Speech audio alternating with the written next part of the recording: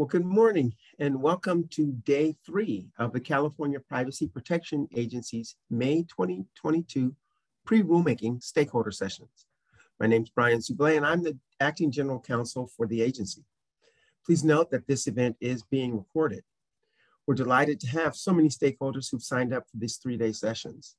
This event, the stakeholder sessions, is the agency's third pre-rulemaking activity while subcommittees of the board provided input to the previous activities, the process has now been turned over to the staff, who have organized the stakeholder sessions to further inform the rulemaking process.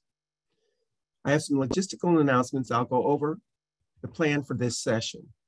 First, let me sketch out the format of these stakeholder sessions so everyone has a sense of how things will proceed. As you can see from the program schedule, which you will find on the meetings and events page of our website, we are holding a series of stakeholder sessions this week. We started on Wednesday, yesterday, and today, May 6th.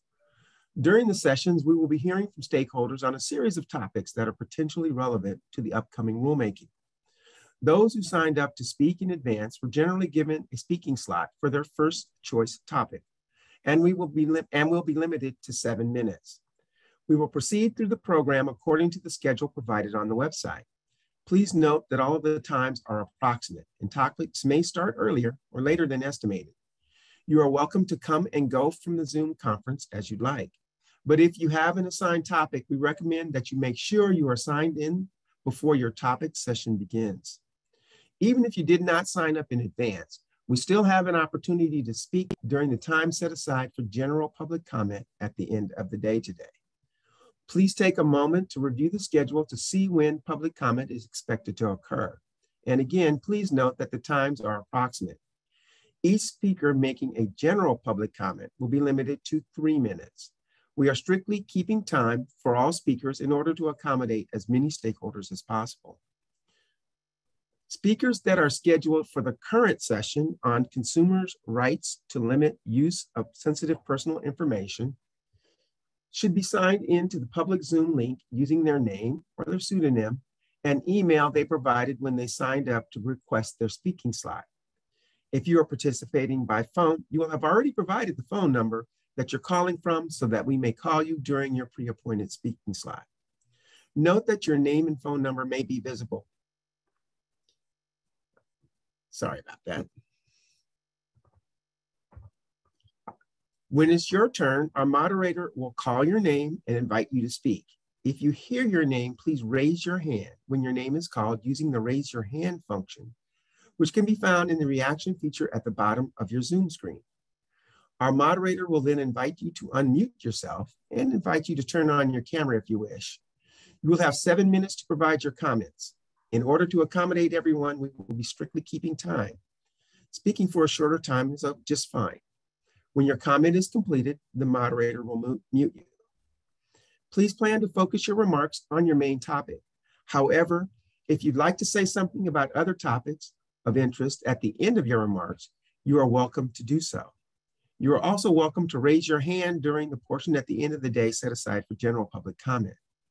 Finally, you may send us your comments via physical mail or email them to regulations at cppa.ca.gov by 6 p.m. this afternoon. California law requires that the CPPA refrain from using its prestige or influence to endorse or recommend any specific product or service. Consequently, during your presentation, we ask that you also refrain from recommending or endorsing any specific product or service. I now ask that stakeholders who have been assigned the topic of consumer rights to limit the use of sensitive personal information be ready to present. Please, again, please use the raise your hand function in Zoom when your name is called so that our moderator can easily see you. As noted, the moderator will call you in alphabetical order by last name. We will now move to hear top, uh, comments on this topic. Ms. Hurtado, would you please call our first speaker? Yes, good morning. Our first speaker is Andrew Crawford.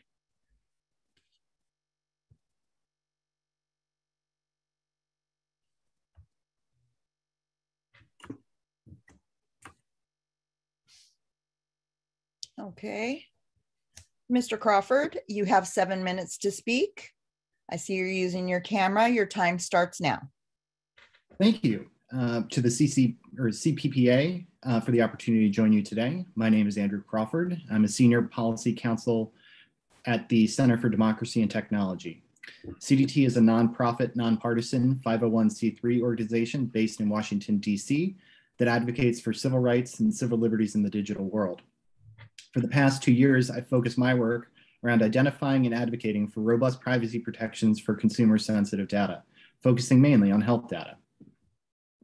Appropriate collection, sharing, and use of sensitive data, like health data, can empower individuals and yield truly remarkable and beneficial outcomes. However, sometimes the benefits are more minimal, and sensitive data collection, sharing, and use can be harmful. Specifically, when sensitive data is shared and used in ways that consumers do not want or anticipate, they lose agency over their data and face a greater likelihood of harm. Unfortunately, there are ample examples of consumers being harmed by inappropriate collection, sharing, and use of sensitive personal information. Reproductive health apps have been found to violate their own policies when sharing sensitive health information millions of users with third parties, including advertisers. Moreover, just this week, there are news reports detailing how data brokers sell location information about visitors to health clinics, including those that provide reproductive health services. Harms associated with the misuse of sensitive personal data can have lasting emotional and physical effects. Today, the burden of protecting their sensitive health information, their sensitive data, falls almost entirely on consumers. It's time to rebalance these relationships and empower consumers with more control over their sensitive information, how it's collected, how it's shared, and how it's used. To take full advantage of the current opportunity to confront these very real harms, the CPPA should embrace the following priorities in any subsequent rulemaking regarding sensitive personal information. Number one, CPPA should embrace a broad definition of sensitive personal information. I encourage you to interpret CPRA's definition of sensitive personal information broadly so that it captures the full universe of this data. This is especially true when approaching health data. I encourage you to focus not just on specific clinical data sets, data held by hospitals and doctors' offices, but more so on the nature of the data and how it's used. If data is being used by a business to make insights or conclusions about consumers' physical and mental health, that data should be treated as sensitive data. Indeed, any data can be sensitive health data if it is used for those purposes, even if it appears unrelated on its face. Data sets like location information, web browsing history, and purchase histories can all reveal very probative details about consumers' health. This type of purpose and use-based approach has several benefits. First, it benefits consumers by raising the bar for all data that's used to impact their health and wellness. Trying to delineate certain data sets as worthy of coverage and others is not no longer makes sense for people whose information is implicated. Second, this approach also creates a tech neutral standard that will stay relevant as technology evolves. Next, CPPA should narrowly define what reasonable expectations by average consumer are when requesting goods and services. Under CPRA, it is up to each consumer to request that businesses limit the use of their sensitive information. Once that choice has been made, it should be meaningful and effective. To that end, you should embrace a narrow interpretation of what is reasonably expected by an average consumer who requests goods and services. As my colleague noted in earlier sessions that focused on data minimization and limitations, there are lots of examples of apps and services collecting far more information than is necessary. If not constrained, there is a real risk that reasonable expectations can include unrelated, can be can include data for unrelated purposes and uses that are not reasonably expected. You should work to ensure that irrelevant data, especially sensitive information like health data, is not collected and retained when the data is unrelated to the goods or services being requested. Specifically, you should clearly articulate that once a consumer directs a business to limit the use of his or her sensitive personal information, that business immediately acts. Immediate action includes businesses notifying third parties and service providers. This final point is important because consumers will often not know each and every third party. Next, the consumer opt-out process should be simple and straightforward. For consumers to truly be empowered and gain back some semblance of control over their sensitive personal information, the choice to limit business use of their sensitive data should be simple to identify and easy to execute. You should develop rules that allow consumers to know their rights and exercise them easily. First, timely and meaningful notice allows consumers to make informed decisions before they permit their sensitive personal information to be collected, disclosed, or used. Sensitive information, like health data, is personal and intimate, and notices about it should not be relegated to a dense paragraph in a daunting multi-page privacy policy. Instead, consumers should be prominently told about their rights to limit the use and disclosure of sensitive personal information independently of other terms and policies. Moreover, this notice and opportunity opt-out should be given before any collection or sharing has occurred. But simply providing an initial notice is not enough. Consumers' rights to limit the use and disclosure of sensitive personal information don't vanish once they've shared data with business with a business. The rights continue and permit consumers to limit the use of collection at any time. CPPA should promulgate rules that provide ongoing transparency requirements at set intervals to allow each consumer to revisit their decision. Periodic notification should be simple and digestible in order to best empower consumers to revisit their decisions and make new ones regarding how businesses use some of their most sensitive personal information. These notices should also be provided in ways that are accessible to all consumers. Any rules you develop should ensure that notices are tailored for each set of users and made easily to access and understand. Consumers aren't empowered if they don't know about and have the ability to their rights to limit the collection and use of sensitive personal information. So to wrap up, I commend CC, CPPA for holding these sessions. I'm happy uh, to serve as a resource moving forward, and I thank you again for your time. Thank you so much for your comment.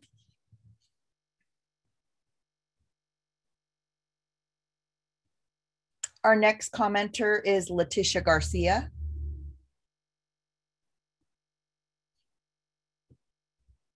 Thank you.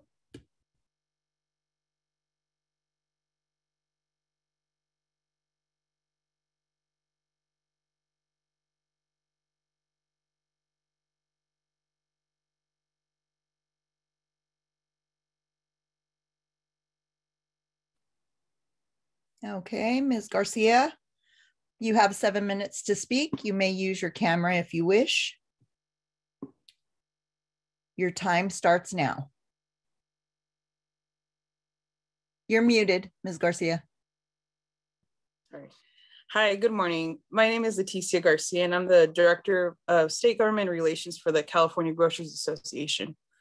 Uh, CGA is a nonprofit statewide trade organization representing the food industry since 1888. CJ represents approximately 500 retail members uh, operating over 6,000 food stores in California and Nevada and approximately 300 grocery supplier companies. Traditional supermarkets in California employ over 300,000 residents in virtually every community in the state. Um, thank you for the opportunity to be here and give our perspective um, the grocery industry has many aspects to it, and we deal with a right, wide, range, wide range of issues in order to be able to provide essential services throughout the state. Um, we are not here to get into technical concerns of the proposed regulations, as it's not the grocery industry grocery industry's main focus. We defer to our business partners whose main advocacy is on privacy issues. I'm here today to express how this proposed regulations can potentially disrupt our members' day-to-day operations. The primary topic I would like to touch on is the consumer's right to limit use of sensitive personal information. If time permits, I will also like automated decision-making. Um, we have two main concerns in regards to this section, one being how this would affect individuals who participate in the WIC and SNAP programs, and the second being on how this would impact our human resources and hiring departments. Rules regarding the use of sensitive personal data should not apply in circumstances where the data has been de-identified or such use or disclosure is reasonably necessary to provide the services the consumer has requested. In California, 49% of households with children participate in the SNAP program, and for WIC, 82% of Californians eligible for WIC have received benefits. SNAP is an essential program to ensure families and individuals who find themselves to be food insecure receive the essential benefits of purchasing food. WIC's main focus is to ensure children receive food that will help their development in their first years of life. The unprecedented, unprecedented nature of COVID shifted much of our business model. And for the first time, we saw a great push for customers to, to purchase groceries online and have them delivered or be ready for curbside pickup. Because of the increase in online shopping and the unknown dangers of COVID, the USDA Food and Nutrition Services, FNS, decided to allow SNAP participants to also purchase groceries online. This was a pilot program whose timeline was expedited and made available in almost all SNAP participating stores. WIC is currently in the process of considering online shopping, and we anticipate the transition is coming in a future years. FNS is very strict on, guide, on the guidelines of the programs, and any deviation from these guidelines can result in participating stores to either have their participation suspended or revoked. Federal requirements on data collection and storage of these programs need to be taken into consideration given the use of it to evaluate these programs. Um, we ask you truly consider the impact of these proposed regulations will have on our WIC and SNAP retailers. The second and last point I would like to touch on is on the HR um, process. The processing of personal information in the HR context should be excluded from such regulations. Regulations would result primarily in significant costs and confusion, conflicts with federal and state employment laws governing personal information HR space and impair the ability to exercise and defend against legal claims. Sensitive personal information collected in the HR context is primarily not collected to infer characteristics about a consumer, but rather for a variety of legitimate purpose in order to comply with state and federal laws. We not only represent large chain stores that can afford to hire an expert in privacy law to comply with these regulations. We also represent small single, uh, single store and independent operators. Our industry runs on very small profit margins ranging from two to 4%. Our smaller retailers will find it difficult to try to comply with such a complex law on their own, as they are not experts in privacy law. These smaller retailers only want to feed their community and not have to uh, go through the reg regulations um, with their HR personnel. Any risk of the privacy individuals, any risk of the privacy of individuals in the HR context is far outweighed by the burden such regulations would place upon businesses in the HR space. That's it for my first topic. I would like to now switch over to the topic of automated decision-making technology. Um, automated decision-making technology and profiling should be limited to activities that require the processing of personal information.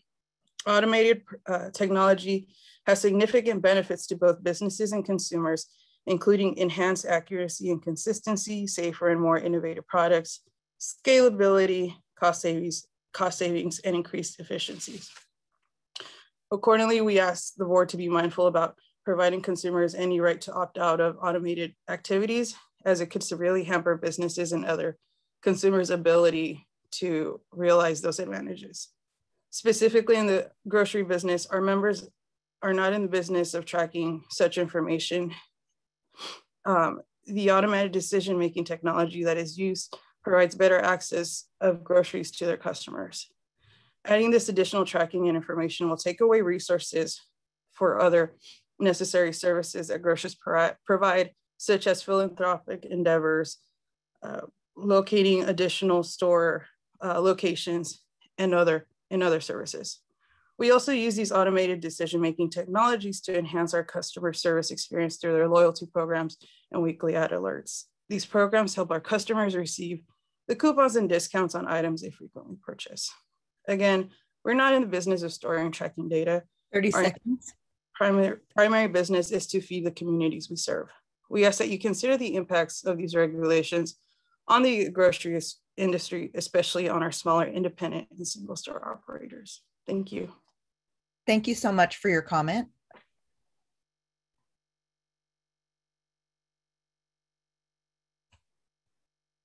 Our next speaker is Alan Sege, S-E-G-E.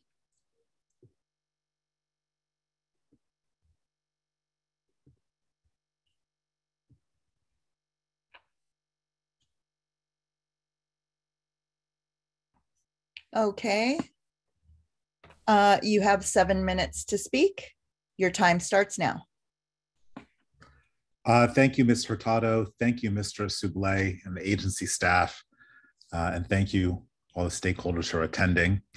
Um, I um, uh, thank you for giving us this opportunity to present this morning. My name is Alan Sege, and I and, and my firm represent uh, technology and media companies here in California, and we assist our clients in protecting consumers' privacy rights. Um, but primarily, I present to you today as a citizen of California.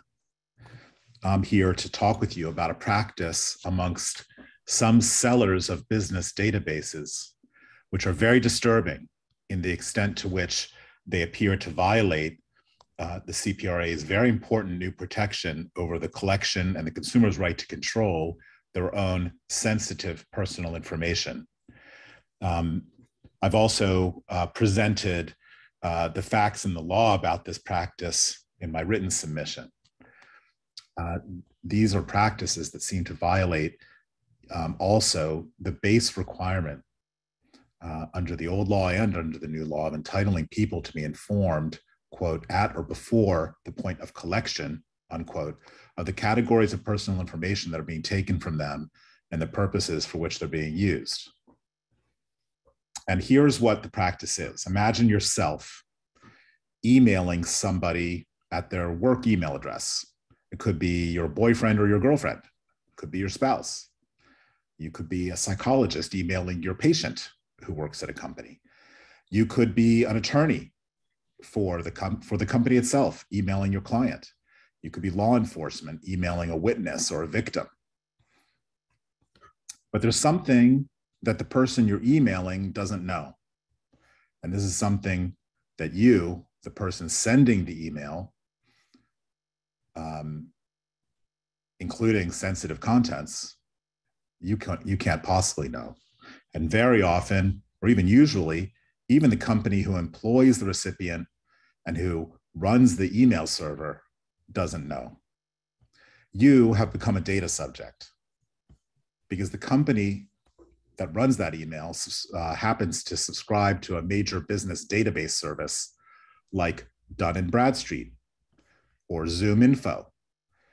And somewhere deep in some fine print could be in a click-through agreement executed by the IT guy at the company. That Zoom Info customer gave Zoom Info access to all of the company's inbound emails. Zoom Info says that they just scrape the emails using what they call advanced artificial intelligence techniques only for what they call, quote, email signature information. They say that's like your email address, your office phone number could be your direct dial phone number, your title, the person you report to could be your cell phone number, and that they uh, receive the entire contents of the email, but with their artificial intelligence, they scrape it for what they determine to be just business contact information. Uh, these companies like ZoomInfo, Dun Bradstreet, perhaps others who engage in this practice, um, add to their commercial database all that information that they scrape to the tune of hundreds of millions of dollars per year. And the practice is growing in prevalence. Of course, because those, those database purveyors could not have known that you were planning to send an email, you were never informed, quote, at or before the point of collection, unquote, as required under the under the CCPA and under the CPRA section 1798. By the way, their tech often doesn't work as we um, as we exhibit our written submission without even really trying. We found examples of Zoom Info publishing the contents of emails, even including attorney-client privilege contents of one of my colleagues who co-authored our submission. This practice, which our submission tactfully terms direct data extraction, seems to me to be a complete violation of the requirements under existing law, and even more so under the new law. Under the new CPRA, the contents of an email are named explicitly as sensitive personal information, entitling the consumer to full information before collection and near complete control over its harvesting and use. This practice, though, has become extremely widespread, even since the enactment of the CPPA, of the CCPA. Um, the databases, including the personally identifiable information that I referred to, um, now uh, subsume what I believe to be a large majority of adult Californians. Um, and you can verify this. You can check yourself. Just Google the name of almost anybody you know, plus the word, one word, Zoom info. This takes you to a public version of Zoom info, which they use to promote their paid service. They show you some of the fields of information they've scraped from emails and published about the person. By their own public statements from more than one year ago, Zoom info alone collects sensitive personal information extracted from consumers' inbound emails and CRM systems over 50 million times every day. Enactment of the CCPA had no effect on deterring this practice of direct data extraction, which has only grown more prevalent over the past few years, as the Office of the Attorney General of California took no action. Um, but I have to note at the same time, a number of reliable commercial business data providers 30 seconds.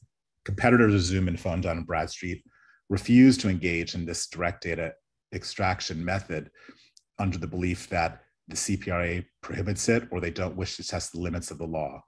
Coincidentally, Zoom Info seems to agree that clarification or rulemaking is needed.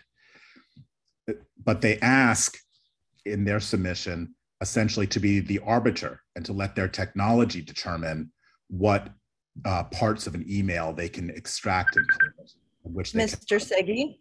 Yes. Time. Okay.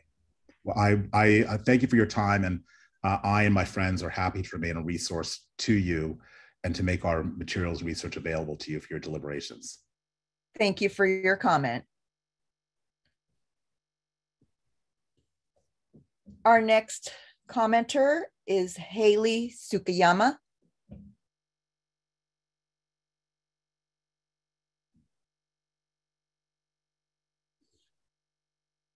Haley Sukiyama.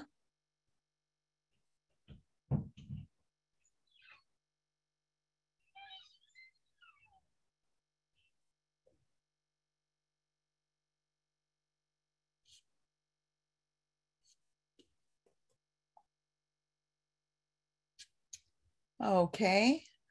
Uh, Brian, that was our last commenter. I'd like to thank everyone for participating in this morning's session. We're going to take a short break and come back at 10 a.m. for the session will be on the processing that poses a significant risk to consumers. Uh, feel free to leave the video or teleconference open or to log out and back in at 10 a.m. when that next session starts. Thank you.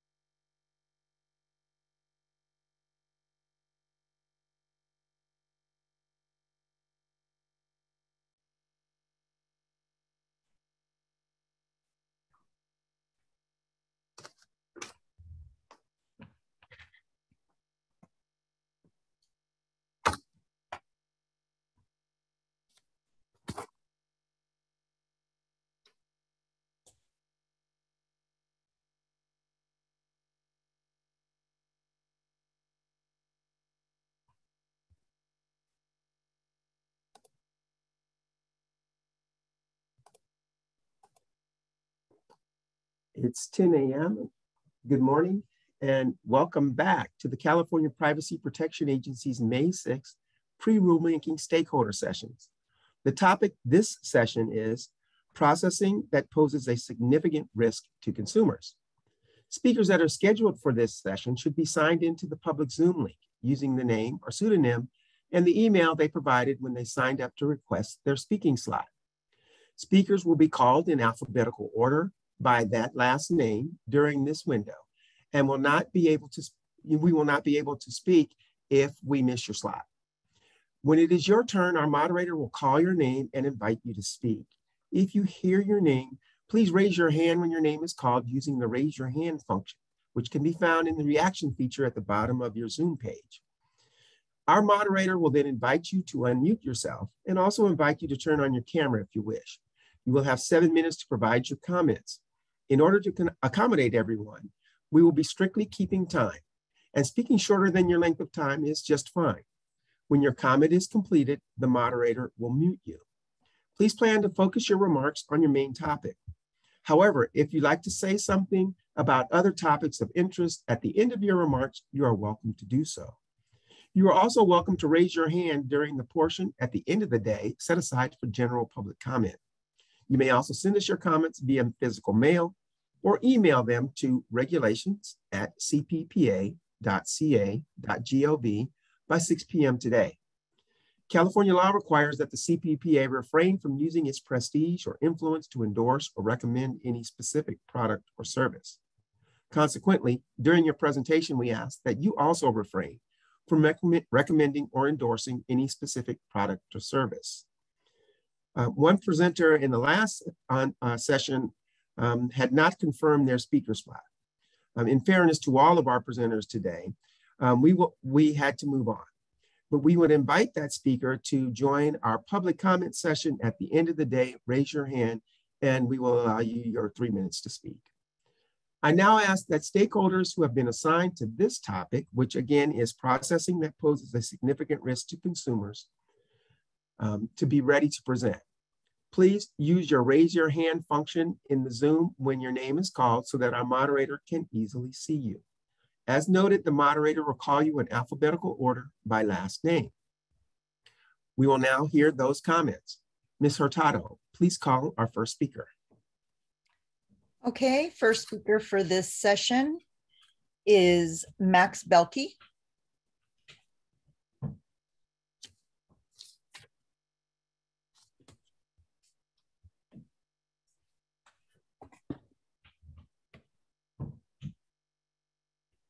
Okay, Mr. Belkey, you have seven minutes to speak. Your time begins now.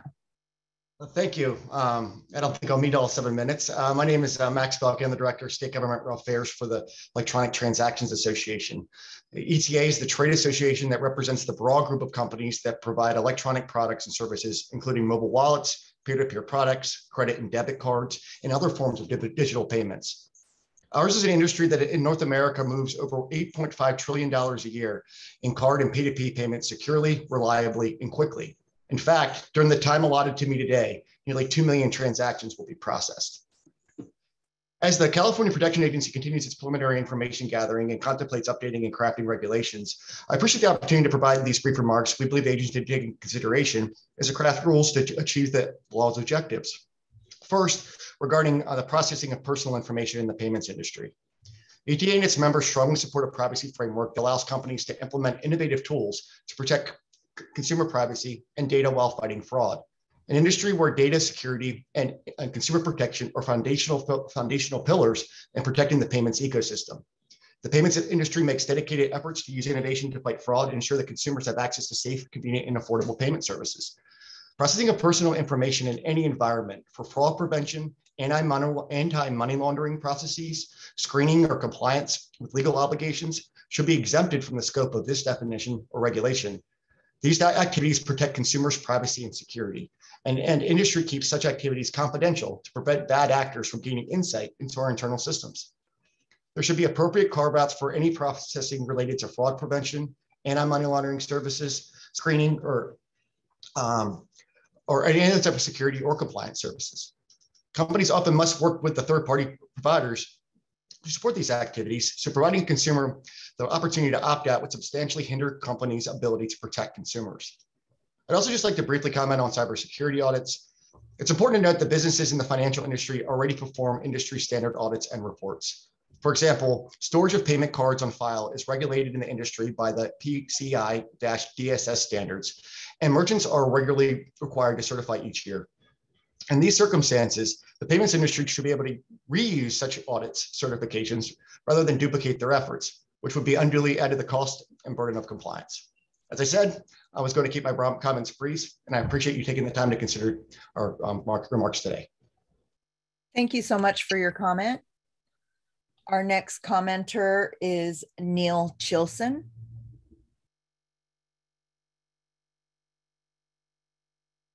Neil Chilson, please raise your hand.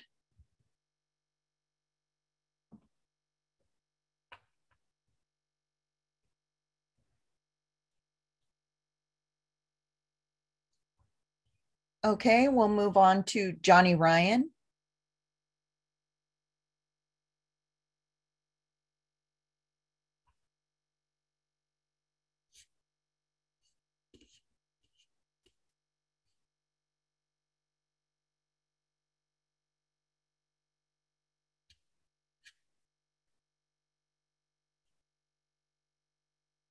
Johnny Ryan, please raise your hand.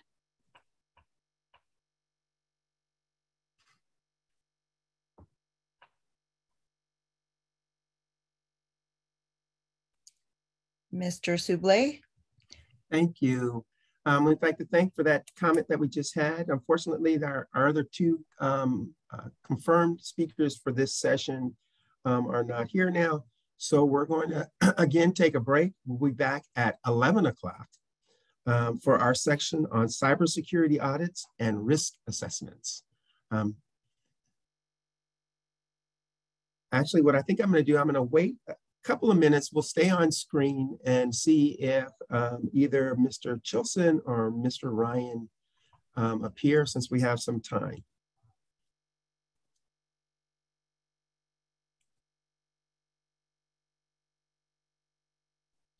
I'll call out first Neil Chilson. If you're there, please raise your hand.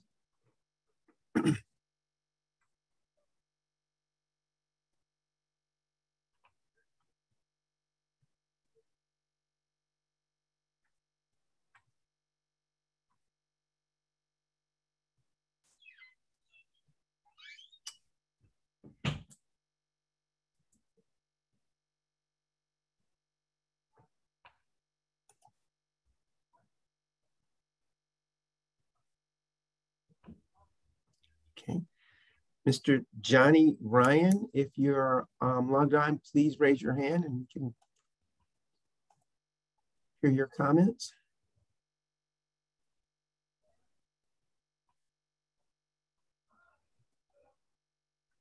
Okay, just as a reminder, when we start our sessions, if you're here, we're going to be calling your name alphabetically. So, so if, if you've signed up and reserved a speaking slot, please make sure to log in right at the, the um, uh, allotted hour um, when we're moving to your session.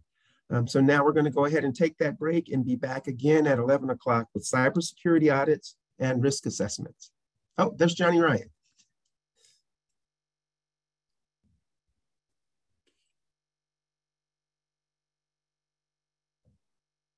Mr. Ryan, can you please raise your hand?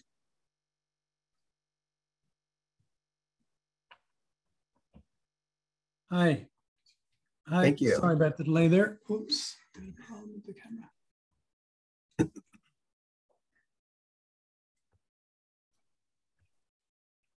There we go. Okay, that should work better. Hopefully you can hear me okay. Yes, please continue. You have seven minutes. Your time starts now. Okay. Um, thank you for uh, having me and letting me represent my views here. I'm going to share my screen to um, show you a, a few slides. Um, what I want to do is take you through uh, what happens when you visit the average website or app and um, you as an internet user, what happens to your data. Um, when you go to a conventional website, the website is trying to figure out what ad should be shown uh, to you. So information about you is sent out to at least one ad exchange or ad auction. And that ad auction house sends the information out to one or more and possibly a large number of, um, of parties who can bid on the opportunity to show you their ad. These are called DSPs. In theory, the right DSP gets the opportunity to show you um, their ad, but the problem is we actually don't know what happens to the consumer's data in that situation. Now, let me give you an example of, of, of one DSP that we know about. This is a company called Vectaury, very, very small, three and a half million euro turnover, so around about uh, um, $4 million. Uh, and it was investigated by the French enforcer in uh, 2018. Now, the French enforcer found that just by sitting in on these auctions that I've described, this company had hoovered up 67.7 million people's data. Now, when you visit the website, it makes this claim that it protects your privacy. And actually, it makes another claim. It says we might collect a lot of data, but we only store 30% of it, and we dump everything after a year, which begs the question did this tiny company, just one among many, actually hoover up um, a huge quantity of different people's data in a very short amount of time? So let me take you through the process um, of what happens when you visit a website, and I'll slow it down. This normally happens in a split second as you're loading the page. The, the SSP, an ad tech company working for the publisher, sends information about you to at least one of these ad exchanges, and the ad exchange sends information about you to many of these DSPs, and one of them wins the auction. It makes the winning bid, and its ad is shown to you. Now, the impression you should have when you look at this diagram is that is an awful lot of arrows. what I want to make you think about though is what information about the consumer and what risk to the consumer is created by those arrows. So we know what is going out about the consumer. We know this because there are two industry specifications which are public documents. Here they are, and they tell us what can be sent out in these broadcasts. Now I'm going to show you from one of the documents an example of one of these broadcasts and take you through what happens. What you're seeing here is unique identifiers about the person, the person's age, more information about their device, and where this young lady in this case is standing. Now that's quite sensitive data, but in addition, there's also information um, about the kind of material that she is watching. Now we know this is a, a depreciated industry document, but it seems to be out there in the wild. We know that from industry documents, thousands of companies can be receiving these data every time an ad is shown, potentially, and there is no way to control what happens to the data. That sounds like a data breach. Certainly, it sounds like sharing and cross context behavioral advertising run amok, I would suggest. The next question is what's the scale? Well, let's take a look at a single one of those ad exchanges that I described. Um, here is a list from Microsoft's ad exchange. They just bought it. It's called Xandr. This is the list of companies that Xandr says it can share your data with when you visit a website. And we're scrolling, I'll save you the full list, through 156 A4 pages of 1,647 companies. And Xandr is only one of these auctions. So what we're talking about here is the biggest data breach ever recorded. And it's not enough to know that these data about consumers are being shared wildly in this way, but it also allows us an insight into the information that goes into profiles about us and how we then might be manipulated. Now, we can know what those profiles now look like because of documents like this. This is the IAB Tech Lab Audience Taxonomy version one. And I'll show you the kind of categories that the tracking industry is using to put into profiles about all of us. For example, here are the codes that define your religion, Buddhist, Christian, Hindu, etc. Your mental health, whether you're infertile, have STDs, if you're interested in weight reduction. And the taxonomy even looks at the most sensitive parts of a person life, person's life, whether you have a, a special needs child, for example. And if that's the case, the industry code is 357. And of course, this extends to what are your political views. Now, it is clear that this kind of information about a person should not be shared in this way in the wild. And it certainly should not be shared with foreign companies, uh, and it shouldn't be as sensitive as it currently appears. So, what I'm describing is an underlying data free for all in the online advertising industry. And what I want to finally wrap up and suggest is that even that industry understands the need for a solution. So IAB Europe has just published in the last few months this document in which it argues that the contextual advertising industry will be a $412 billion industry by 2025. And there are various st statistics saying this is a good thing. And finally, let me leave you with one chart. This is four years of, of advertising revenue from a European publishing group that did switch its advertising. I want to note two seconds. events the GDPR and COVID 19. And you will see that when they made the switch, the revenue went up. And I'll leave you on that point. Thank you. Thank you so much for your comment.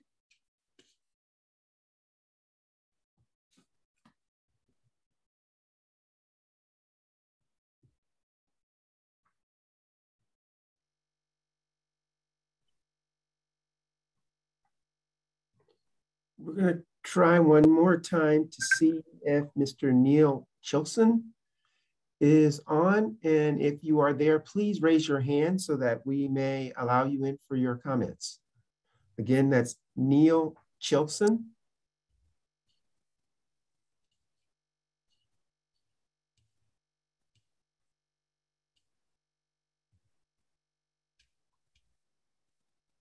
Okay, well, we're going to take our break now and we'll be back again at 11 o'clock with cybersecurity audits and risk assessments. So if you have signed up for that topic, please be ready to go at 11. Thank you.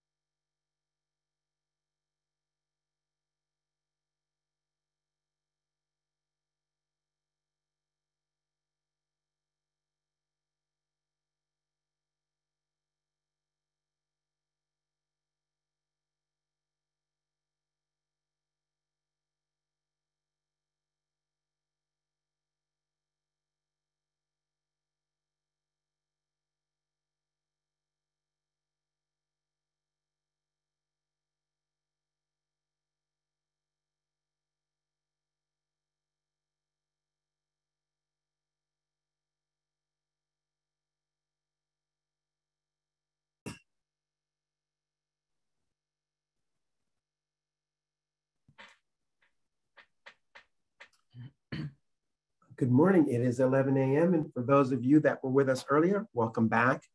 This is the California Privacy Protection Agency's May 6th pre-rulemaking stakeholder session. As a reminder, our sessions are being recorded.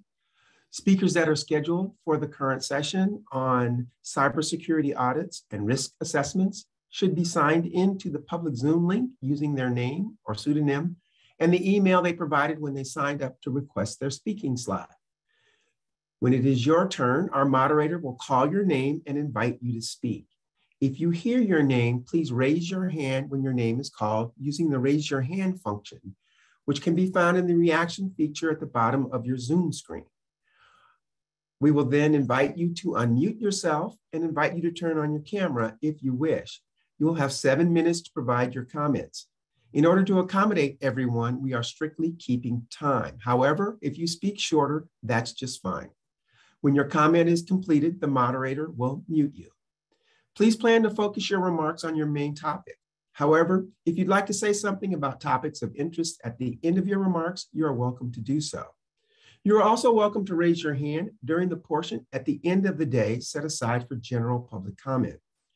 You may also send us your comments via physical mail or email them to regulations at cppa.ca.gov by 6 p.m. this evening. California law requires that the CPPA refrain from using its prestige or influence to endorse or recommend any specific product or service. Consequently, during your presentation, we ask that you also refrain from recommending or endorsing any specific product or service. I now ask that stakeholders that have been assigned to the topic of cybersecurity audits and risk assessments be ready to present. Please use the raise your hand function in Zoom when your name is called so that our moderator can easily see you. As noted, the moderator will call you in alphabetical order by last name. We will now hear those comments. Ms. Hurtado, please call the first speaker. Uh, yes, the first speaker for this session is John Davisson. Thank you.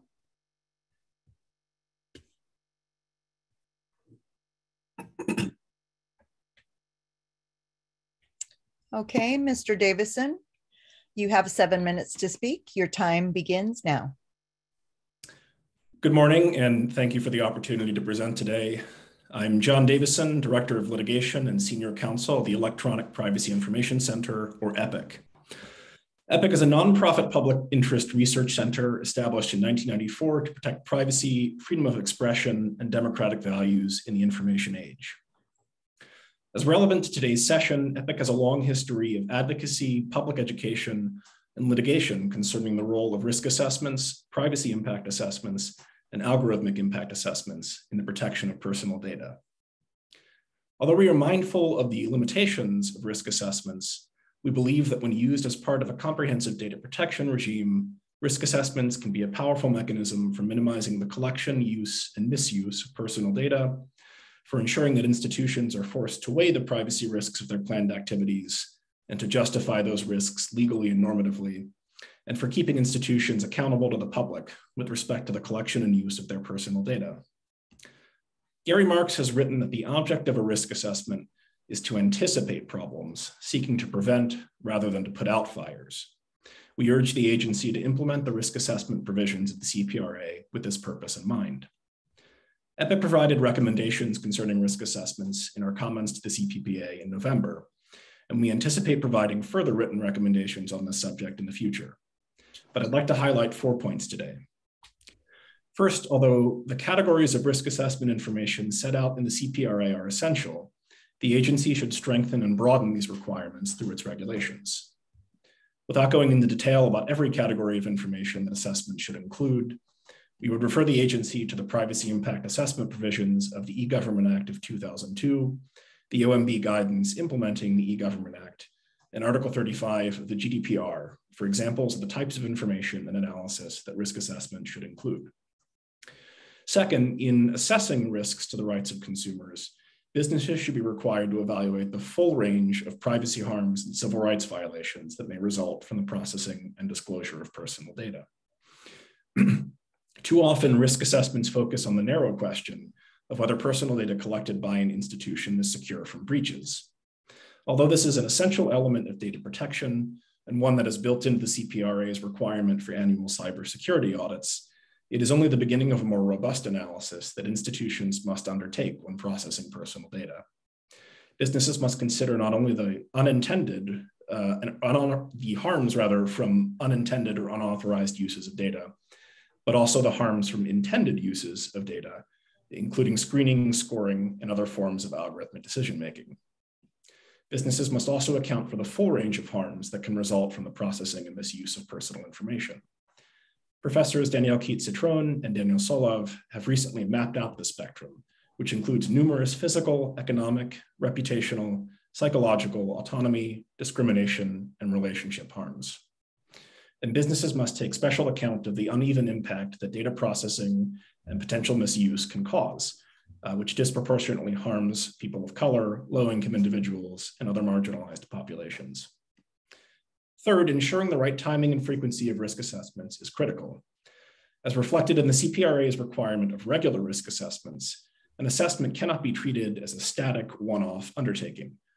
Rather, it is a process which should begin at the earliest possible stage when there is still an opportunity to influence the outcome of a project or activity and should continue until or even after the project or activity has begun. We urge the agency to require the completion of a risk assessment as soon as a business takes material steps towards data processing that will present significant risk to the consumer's privacy or security. This will ensure that the risks to individuals can be prevented or mitigated before any processing begins. Allowing risk assessments to be po postponed until the last minute uh, or even after data processing has begun would allow risk assessments to become a box checking exercise and facilitate the whitewashing of harmful data practices.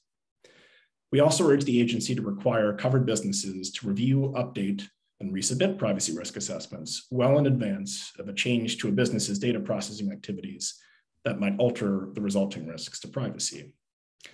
In any event, businesses should be required to conduct such a review no less than once per six month period. Finally, it is important that the CPRA and the business submitting a risk assessment publish the results of the assessment promptly, conspicuously, and by means that are readily accessible to interested members of the public. In addition to forcing businesses to evaluate and mitigate the harms of data processing, a risk assessment also serves to inform the public of a data collection or system that poses a threat to their privacy. Although the CPRA already requires the agency to provide a public report summarizing the risk of assessments, uh, the risk assessments filed with the agency, we believe the underlying assessment should be presumptively public, subject only to the narrow redactions necessary to protect data security and trade secrets. This added degree of transparency will significantly enhance the data protection benefits of the CPRA without imposing significant additional burdens on businesses that are already required to produce the risk assessments. Uh, that concludes my remarks. Thank you again for the opportunity to speak today, and we look forward to helping the CPPA develop and implement robust risk assessment regulations. Thank you so much for your comment. Our next commenter is Odia Kagan.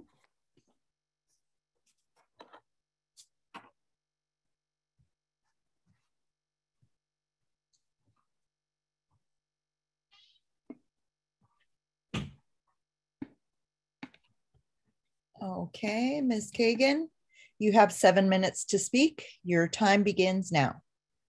Thank you. Hello, everybody, and thank you very much for the opportunity to present here. Uh, my name is Odia Kagan. I am a partner and chair of GDPR compliance and international privacy at Fox Rothschild.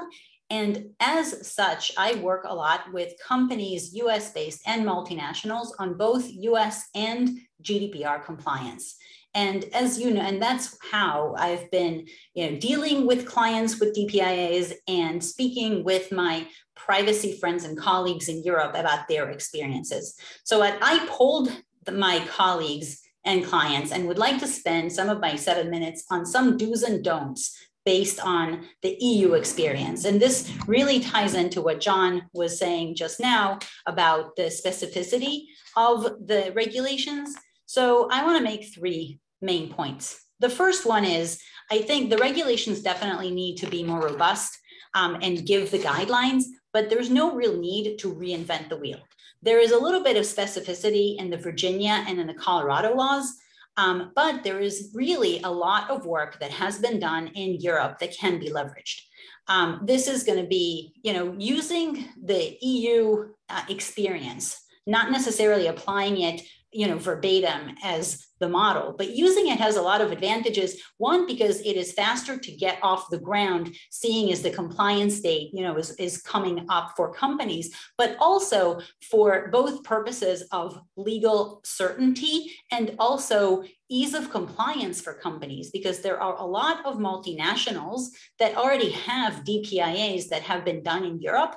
And if the um, the principles and the requirements are close enough, they will be able to leverage them, make the necessary adaptations, and use them in the US context. So that's the first point. The second point is I think that really there needs to be clear guidance, but not too specific guidelines for when a DPIA is needed or a risk assessment on the data protection is needed.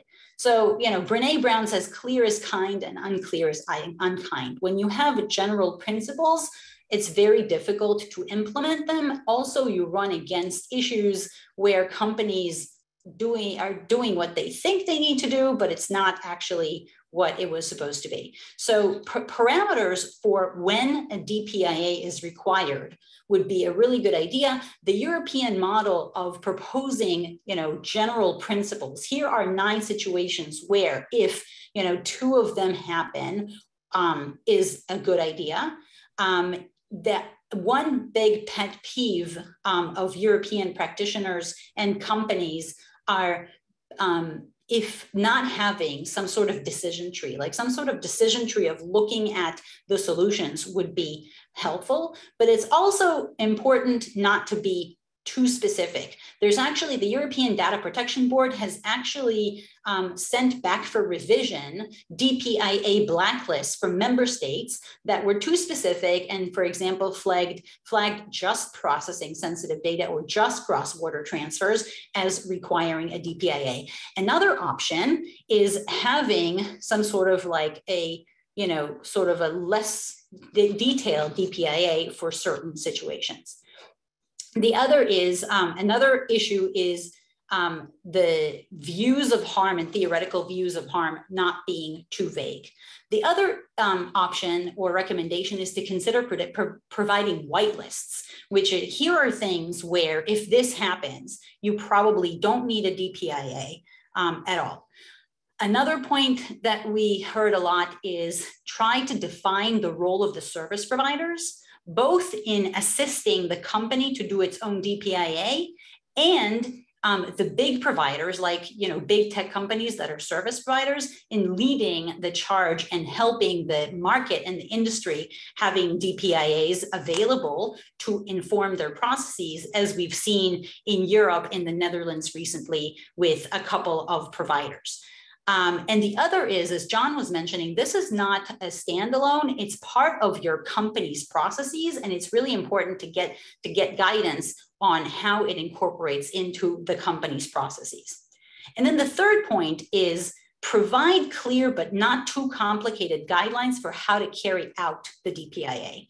Here also, it, it's a good idea to leverage what we have from the EU, but make the, re the relevant adaptations. We have models from the UK, from um, France, from Spain. There is an ISO standard 29134. Um, maybe that, maybe, you know, leverage that in an updated way. And, and of course, the interplay between an information security management system and the privacy risk assessment on top.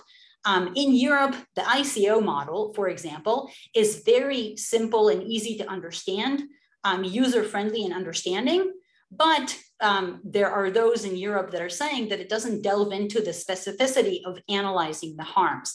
John was mentioning we have our own, we have, you know, the Solove model and Calo, um, and we, that we can, you know, rely on. And then on the other end of the spectrum, there's the German model with very specific risk mitigation for each risk. And maybe there is a sort of somewhere line in the middle that allows both companies that are small and medium enterprises engage in this because it's very important to find something which is um, not cost prohibitive and just not completely deterrent to smaller companies. Um, uh, the other things that would be really helpful to have in this are determining the probability of occurrence and also guidance on how to actually carry out the process. How to, there is a 3D model that looks at processing phases like storage, use, modification, and processing stakeholders like software, hardware, hardware employees or recipients. And for each of those, seconds. calculating the likelihood and the severity of the infringement. Um, I think the document, the guidance should also be not only on how the document should be, but also how the process should be in, um, carried out in the companies. And also the last point is it would be helpful to have some sort of resource repository of sample DPIAs, especially like CNIL did in France, especially for things like um, high risk algorithms or some model that companies can look and see what they can do. Hi, Thank you. Thank you. Thank you for your comment. Our next commenter is Barbara Lawler.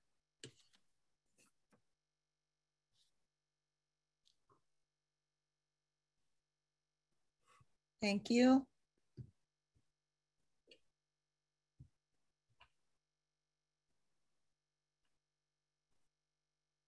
Okay, Ms. Lawler, you have seven minutes to speak. Your time begins now. Good morning. Thank you. Thank you to the CCPA for holding these stakeholder sessions providing the opportunity for stakeholders to give feedback about the rulemaking. I'm Barbara Lawler. I'm the Chief uh, Operations Officer and Senior Strategist for the Information Accountability Foundation. The IAF is a nonprofit research and educational information policy think tank. Our mission is to foster effective organizational accountability that facilitates a trusted digital ecosystem and the ability for organizations to use data responsibly to create real value for people. We believe that to be trusted, organizations must be accountable, responsible, and answerable, and be prepared to demonstrate their accountability. We believe that frameworks based on risk assessments and effective data governance enable beneficial data driven innovation while protecting individuals and society from the potential harms that may arise from data processing in the digital age.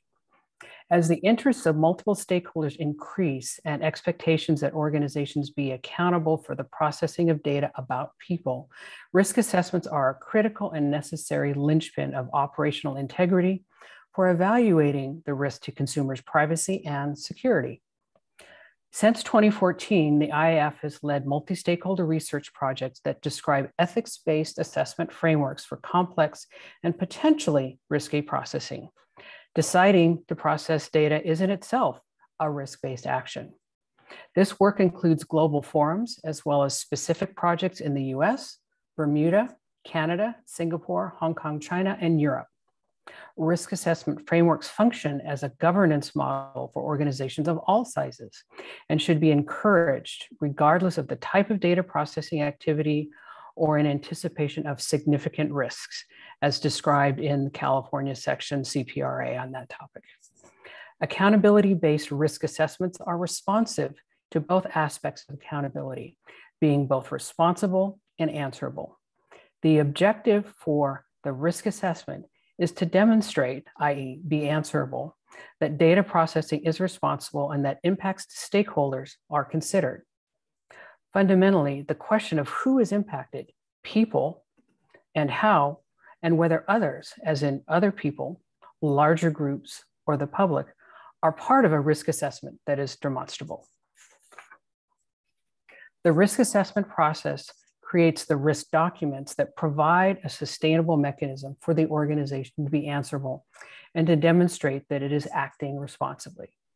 To determine the risk of what and to whom, a measurable, measurable vetted framework is needed to describe the impacts to people. That is a framework of negatives to isolate and then manage and measure against.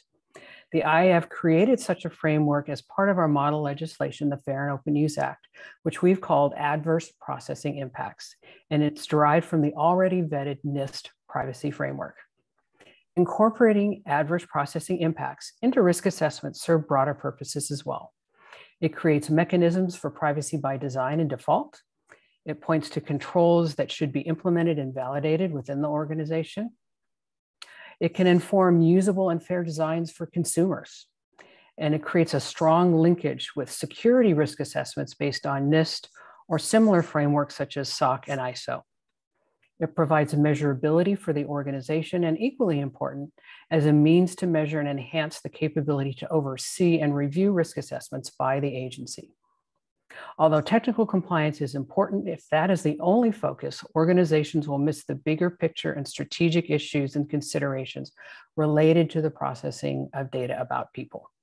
Therefore, accountability based risk assessment should become the norm for structuring and implementing risk assessments and the broader privacy and security governance for organizations as overseen by the agency. Thank you. Uh, detailed resources can be found on our website and will be included in links in our written comments that we'll also be submitting.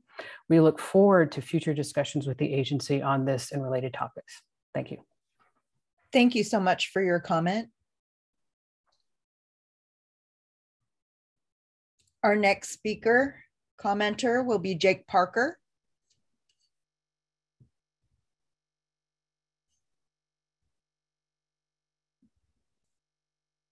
Jake Parker, if you're available, please raise your hand.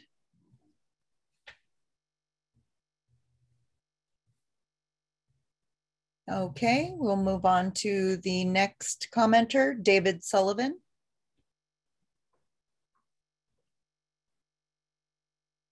Thank you.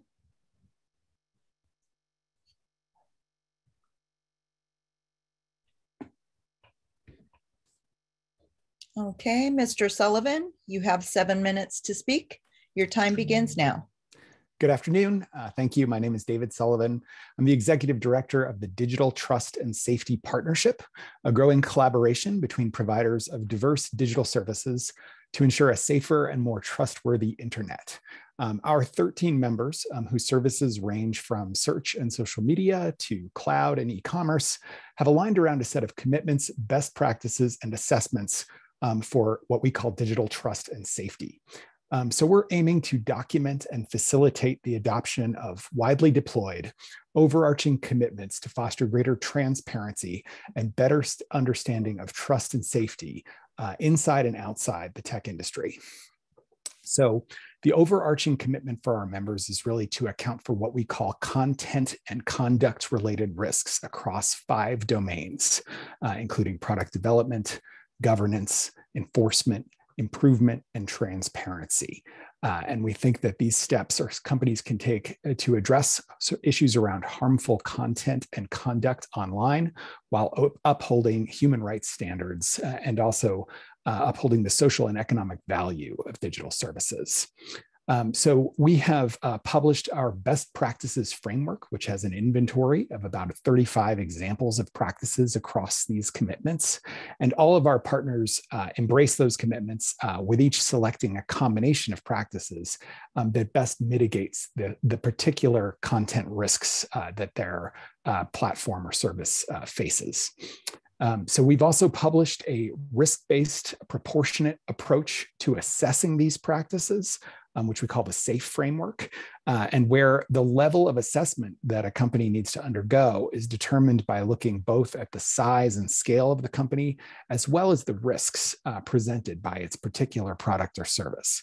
We're also going to be releasing an inaugural uh, State of the Industry report uh, in the near future to provide industry level insights into the maturity of trust and safety practices. Um, this work is inspired by and really draws upon the formalization and maturation of the cybersecurity discipline within the tech space um, through efforts that other speakers have already noted, such as the NIST framework, ISO standards, and other audit and assurance practices that provide objective and measurable means of assessing and mitigating cybersecurity um, or privacy risks. Um, today, I, I, think there's a high degree of interest uh, in California, across the United States, and around the world around how companies are addressing what we call content and conduct related risks, the illegal or harmful content found on digital services. Um, so, our aim is really to provide a common industry based approach um, based on practices and standards that are content agnostic and are capable of responding to the content risks of today and the ones tomorrow around the horizon we don't know about yet, backed by a robust accountability mechanism of third party assessments. Um, so we're going to be looking to learn from the privacy and security risk assessments and audits required by the CPRA as we develop our process. Uh, and likewise, um, amid proposals that the CPPA widen its scope to include non privacy matters such as children's well being, I would encourage you to look to our best practices and our assessment framework to understand the significant efforts uh, that our members are undertaking when it comes to elevating and formalizing trust and safety as a discipline and the value of sort of consensus industry standards in this approach. Um, so uh, with that, I really look forward to further opportunities for exchange. Uh, and I wanna thank uh, the CPPA uh, board staff uh, for your hard work and for the opportunity to speak today. Thank you. Thank you so much for your comment. That was our last speaker scheduled for this morning. So I'd like to thank all of the speakers who spoke at our sessions this morning for their comments. We're gonna take a break now until our next session. We'll reconvene that session at one o'clock and it is on audits performed by the agency. Please feel free to leave the video or teleconference open or to log, log out now and then log back in at one o'clock for that next session. Thank you.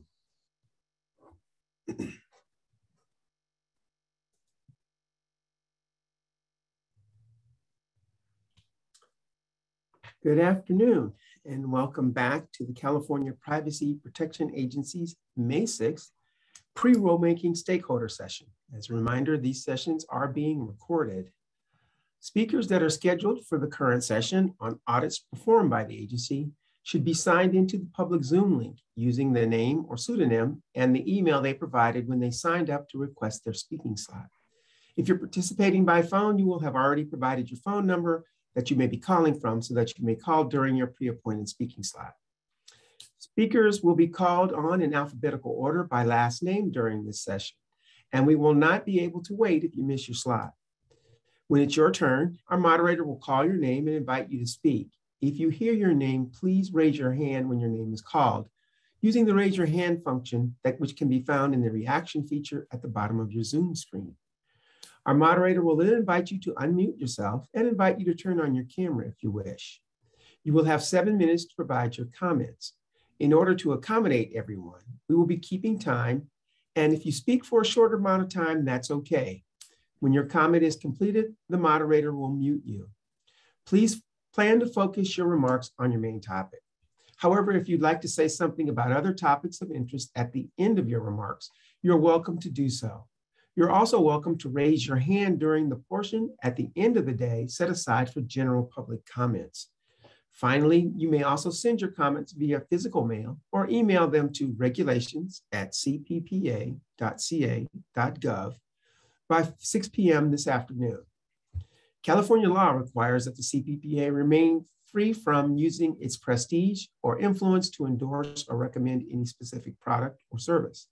Consequently, during your presentation, we ask that you also refrain from endorsing or recommending any specific product or service. I now ask the stakeholders who have been assigned to this topic be ready to present.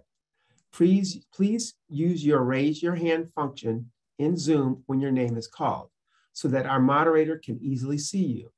As noted, the moderator will call you in alphabetical order by last name. We will now move to hear comments on the topic of audits performed by the agency. Ms. Hurtado, could you please call our first speaker? Yes, our first speaker this afternoon is California Nevada Credit Union Leagues. Please raise your hand. Thank you.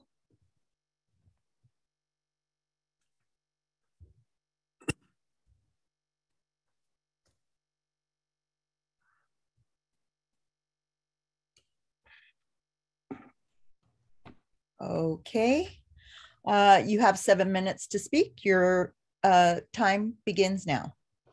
Good afternoon. My name is Lisa Caranta, Vice President of Regulatory Advocacy with the California Nevada Credit Union Leagues. The leagues are one of the largest state trade associations for credit unions in the United States, representing the interests of approximately 250 California and Nevada credit unions and their more than 11 million members. Leagues support the spirit of the law and the need to protect the personal information of credit union members. But there continues to be significant concerns with the practicality and implementation of California Consumer Privacy Act and the California Privacy Rights Act. To that end, we thank you for providing us with the opportunity to speak today regarding uh, the audits performed by the agency. As financial institutions, credit unions are already among one of the most highly regulated industries. California's state chartered credit unions are licensed and regulated by the California Department of Financial Protection and Innovation, and the National Credit Union Administration regulates federal credit unions as well as federally insured state credit unions. Additionally, credit unions are subject to federal Consumer Financial Protection Bureau oversight, among others.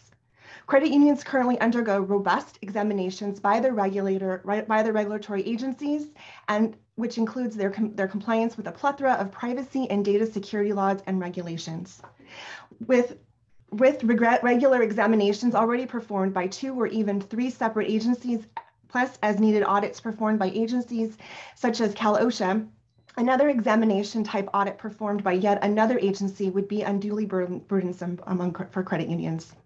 A credit union's primary regulator is better positioned to assess a credit union's ongoing compliance efforts in this area. The agency could easily defer oversight to the primary regulator. To the extent that more direct agency oversight and or audit is deemed necessary, it would make sense for the agency to look for opportunities to cooperate and coordinate with the examinations already conducted by the credit union's primary state and federal regulator. Because credit unions will have unique compliance issues as a result of overlapping compliant privacy laws specific to financial institutions, it also makes sense to have any necessary audits performed in cooperation with the primary regulators who already understand those overlapping requirements. Additionally, due to specific exemption built into the statute for information subject to the Gramm-Leach-Bliley Act and the California Financial Information Privacy Act, the actual compliance requirements for credit unions and other financial institutions will not look like other businesses. As a result, it makes sense for the agency to rely on credit union's primary regulator that is already familiar with these requirements and exceptions. We also want to take the time to highlight other key topics separate from our primary topic for the agency's attention. Specifically, the CPRA revised CCPA's financial information exceptions to apply to personal information collected, processed, sold, or disclosed subject to federal Gramm-Leach-Bliley Act or the California Financial Information Privacy Act, also known as California SB 1, Regardless of this change, there still is significant confusion regarding the exemption for personal information collected, processed, sold, or disclosed, subject to federal uh, GLBA and California SB1. The confusion arises because CCPA and CPRA uses terms that are inconsistent with, the, with GLBA and SB1. The GLBA and SB1 both use terms known as non-public personal information and define that term to mean personally identifiable financial information. CCPA and CPRA uses the term personal information, which is defined in California Civil Code 1798.1400 and is much broader than GLBA and SB1's definition of non-public personal information. In addition, GLBA pertains to personal identifiable financial information collected in the course of a transaction or providing a financial product or service. CCPA and CPRA pertains to personal information collected basically in any manner, including when there is no transaction. Because of the inconsistent terminology, the exemptions provided in Civil Code Section 1798145E is unclear and can be interpreted in several ways it is essential that the agency provides clarifications in the regulations. Moreover, for financial institutions that are not only subject to CCPA and CPRA notice requirements to the extent not covered by an exception, guidance will, with regard to the appropriate response to a consumer that recognizes this exemption would be especially useful given that consumers are un unlikely to be familiar with the nature and exempt and to the extent which the exemptions apply.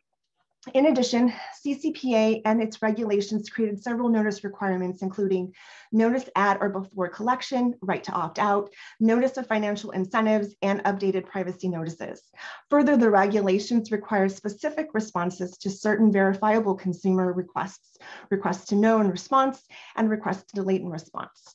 CPRA um, added the new right, the right to request correction of inaccurate personal information, which would require a specific response to form a verifiable consumer request, request to correct and correct, correct uh, and response. For all these required notices and responses, the regulations require the notices be easy to read and understandable by the average consumer and provide some, some standards to achieve that. This direction is subjective and does not contemplate a method or metric to assess the readability. Since all businesses need to provide the required notices and responses, uniform model notices would, be, would help ensure consumers' understanding of the notices, simplify requirements for businesses, and create an objective review on whether a business's notices meet the standard requirements. We thank you for your time and opportunity to comment today. Thank you. Thank you for your comment. Our next commenter is Kevin Gould.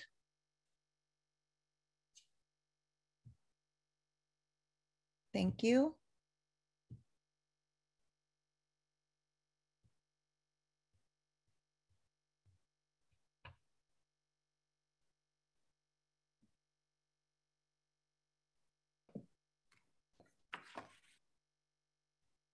Are you ready, Mr. Gould? I am. Okay. Go ahead. Thank you for the opportunity to share our perspective during this stakeholder session, which is intended to assist with the agency's forthcoming rulemaking under the California Privacy Rights Act. I am Kevin Gould, Executive Vice President and Director of Government Relations for the California Bankers Association. CBA is one of the largest banking trade associations in the United States advocating on legislative, regulatory, and legal matters on behalf of banks doing business in California. The importance of protecting consumer data and privacy are not new concepts for banks who have operated for decades under protections established by laws like the Gramm-Leach Bliley Act and the California Financial Information Privacy Act. As the agency prepares to issue regulations in accordance with the CPRA, we appreciate the opportunity to provide input. With respect to the agency's authority to audit businesses' compliance with the law, we urge the agency to exempt banks which are highly regulated and subject to ongoing supervision and frequent examination by banking regulators. Today, we are pleased to provide a very high-level overview of bank supervision and examination with a willingness to elaborate and share more detail with the agency if requested.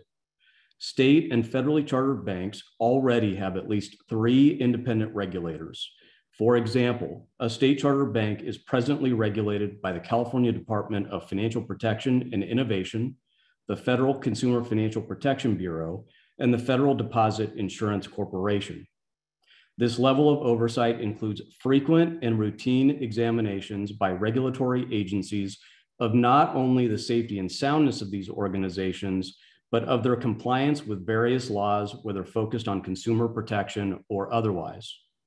Generally speaking, while the frequency of exams may vary to some degree based on the asset size of the bank, the results of a prior examination, and the type of exam being conducted, such as a safety and soundness exam, Community Reinvestment Act exam, or a compliance exam, the important point here is that there is a well-defined time frame and cadence for bank examinations.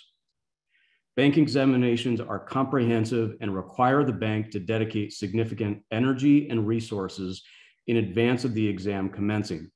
Banks are typically required to gather and compile significant amounts of records, data, and information in preparation for an examination.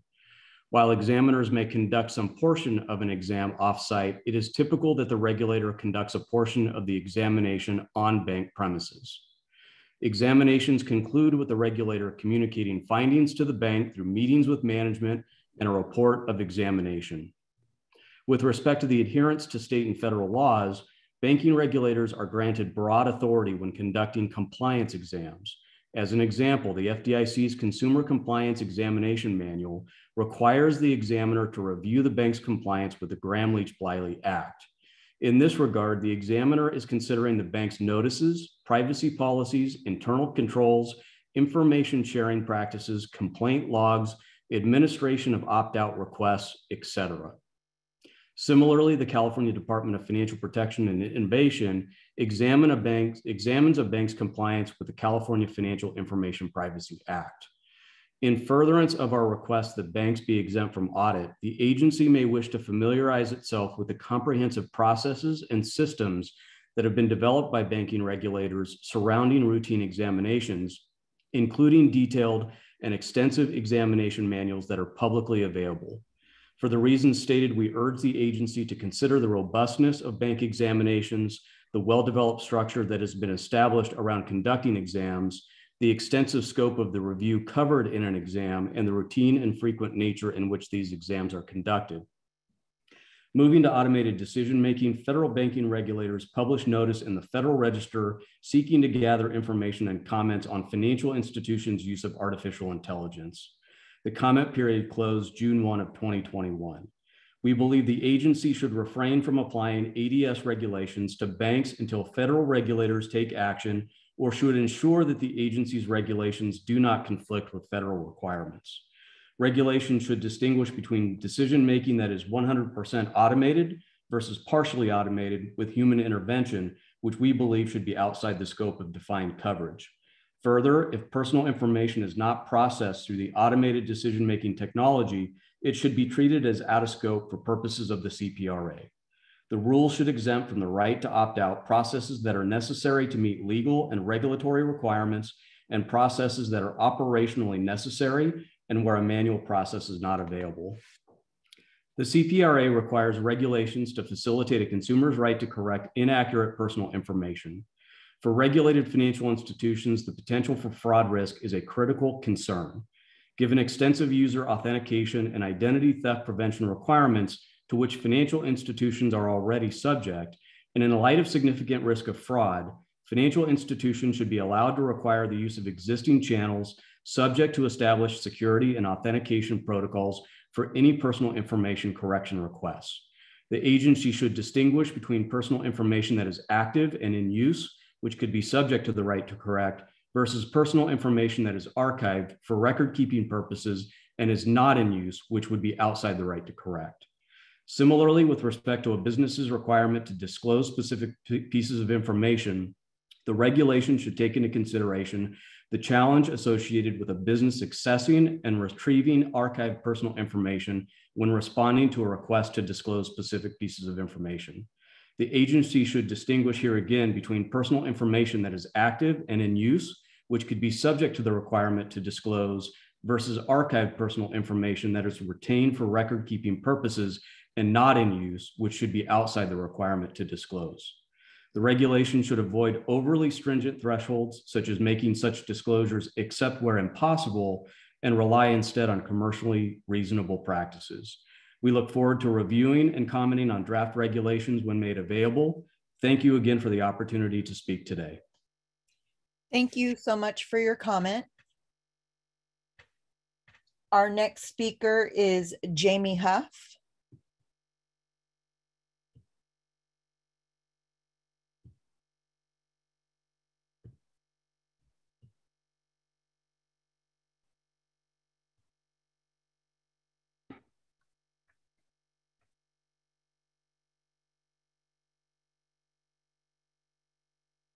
Okay, Ms. Huff. Hi, your time starts now. Perfect, thank you. Uh, good afternoon, board members. Uh, my name is Jamie Huff, and I am the Vice President and Counsel of Public Policy for the Civil Justice Association of California, also known as CJAC. We're the only statewide association dedicated solely to improving California's civil liability system in the legislature, the regulatory arena, and the courts. Our membership consists of businesses and associations over a broad cross section of California industries, and we've been a trusted source of expertise in legal reform and advocacy for almost half a century. CJAC has been asked to address the topic of audits performed by agency under the CPRA. Thank you to the agency and your staff for facilitating your testimony here today. We appreciate the opportunity to participate. CJAC believes the agency should incorporate the following overarching principles into audits performed across all identified topic areas. First and foremost, the agency should perform audits in uniformity with global, federal, and other state standards to avoid unnecessary complexity and burden for businesses. To the extent possible, the agency should allow audits performed by other regulatory bodies to satisfy conditions under the CPRA, which would ensure consistency with California existing laws and regulations impacting audits across a wide variety of industries. Next, the agency should recognize permanent exceptions from audits for personal information of job applicants, employees, and independent contractors collected and used solely in the context of those roles. Regular audits of such information would create undue burden for businesses. This is consistent with the purpose and intent language of the CPRA, which states that its implementation should take into account the differences in the relationship between employees or independent contractors in business as compared to the relationship between consumers and businesses. The audits should also not require businesses to divulge trade secrets or other confidential information and should allow redaction of unnecessary information. The transparency goal of the CPRA would be frustrated if businesses lack assurance that compliance with documentation and disclosure requirements will not be used against them in future litigation. Moreover, audit information submitted to the agency should be exempt from public inspection and copying under the California Public Records Act and deemed not to constitute a waiver of any attorney-client privilege or work product production. Addressing the scope of audits that the agency covers, CJAC believes the agency authority should be limited to specific, identifiable risks supported by evidence prior to investigated powers being triggered. Audits should not become fishing expeditions. They should be limited to instances where there is evidence of a business that has misused consumer information or otherwise materially violated provisions of the CPRA. The frequency of audits should be reasonable given the time and expense businesses face to meaningfully comply with oversight. It's CJAC's recommendation that audits occur no more than once annually and should not be conducted at all until final regulations are fully adopted by the agency. The initiation of an audit should be subject to a majority vote by the agency board members based on evidence alleging misuse of consumer data or a violation of the CPRA. Also, businesses should receive fair notice prior to an audit, but not less than 30 days in order to allow for adequate preparation time. We believe businesses should have the option of selecting a third party auditor to provide an independent assessment with approval by the agency board. Lastly, addressing the issue of safeguarding a consumer's personal information from disclosure during audits. We believe consumer data protection should be a key consideration during any audit, and the agency should provide a secure method to receive and exchange information with businesses that will not compromise said data. The agency should avoid assessing, compile, compiling, or storing consumer data during an audit without a compelling reason. And where the agency does collect consumer personal information, we advocate for appropriate safeguards and organizational measures to protect the data. When no longer needed, the information should be promptly deleted. CJAC believes that the adoption of these policies outlined above, auditing uh, the agency will be cost effective and reasonable for all parties. Thanks so much for your attention today to these recommendations. We appreciate the agency's effort to provide a fair and efficient regulatory framework to implement the CPRA. Thank you. Thank you so much, Ms. Huff, for your comment. Our next speaker will be Lisa Levasseur.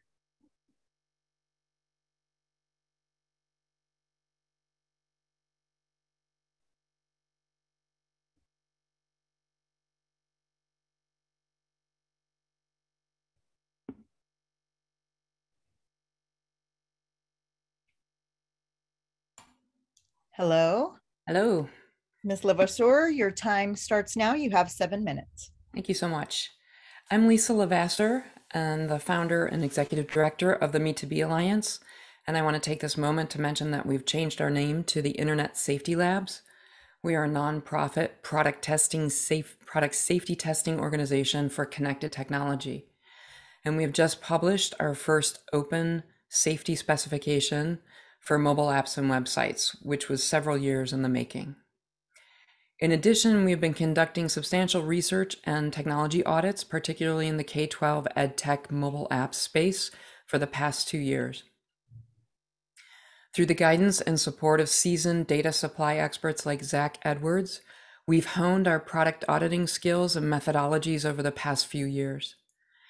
In particular, our audits look at safety from two key lenses from data flow in and out of the app or website, and from harmful patterns, mainly of ma- manipulation and coercion in the user experience.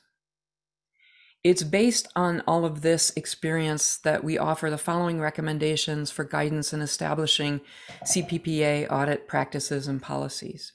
We provided much more in depth feedback in our written feedback um, from last year. Our comments today focus on three key areas. One is the scope of the annual audits, the second is scale considerations, and the third is ethical considerations. So, starting with the scope of the annual audits, primarily the ones described in section 15, these are sort of discretionary and, and posed to be annual audits. And we note that this that the language used in that section 15 currently refers to it as a quote unquote cybersecurity audit.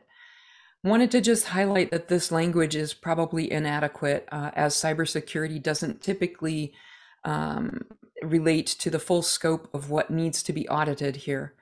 We recommend that the annual audit include auditing of privacy and safety protecting practices and behaviors beyond what is currently um, included typically in the scope of cybersecurity. Note also that when we say the privacy and safety um, protecting practices and behaviors, this covers both behaviors of the organization and behaviors of the technology itself. We're going to focus on our comments on the behavior of the technology itself because that's our particular expertise. And we do believe that this that the scope of the testing really should have at its core uh, a particular focus on independent audit of the behavior of the technology. This annual auditing should measure the actual behavior of the technology, not just what the organization says it's doing. We recommend the scope of this auditing cover at least the three key behaviors of the technology, the data supply behavior, the harmful patterns in the UX, and the automated decision-making behavior. When we come to scale considerations, auditing is too large a job for a single entity. It will need a network of authorized independent auditing entities. As noted in our written comments, we suggest focusing on one industry at a time, developing domain, deep domain expertise on a particular industry, as tech behaviors need to be understood in the context of industry norms. I, I want to just have one quick point on the frequency of audits. I know that this that the you know section 15 talks about an annual audit. I want to just note that the behavior of technology can be changed with every single software update. And that means it could be changed every single day. So an annual only audit of technology behavior will be really woefully inadequate in order to ensure that technology is non-violating.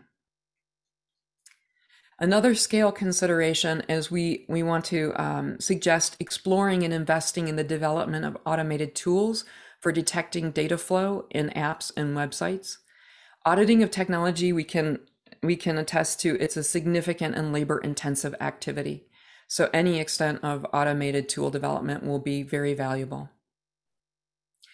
We also suggest consideration of developing a mandatory software bill of materials or ingredients labels uh, ingredients label for both mobile apps and websites to facilitate auditing.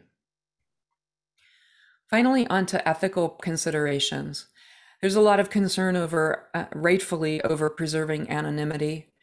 These annual discretionary audits of the technology behavior, from our experience, we're able to audit this technology behavior, um, especially the data supply behavior, through black box testing meaning we don't need any access to internal private information, meaning there's no exposure to personal information.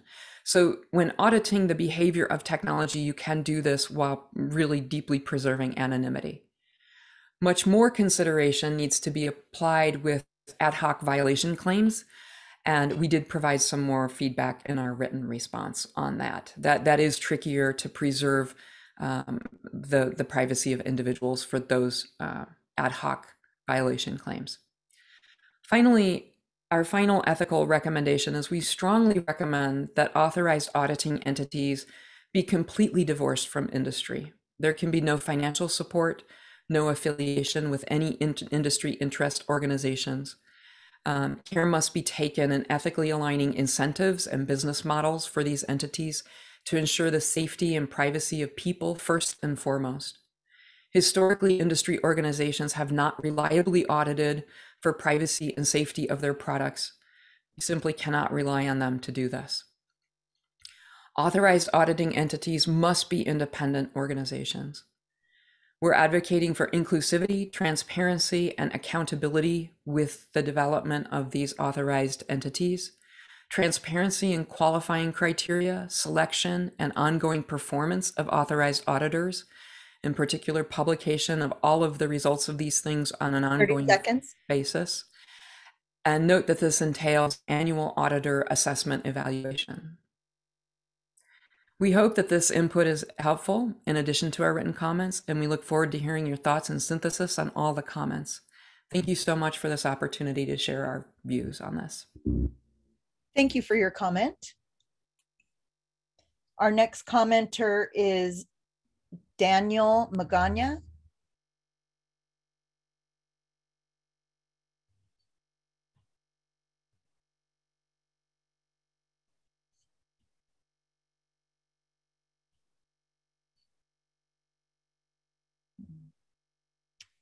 Okay, we will move on to Emory Roane.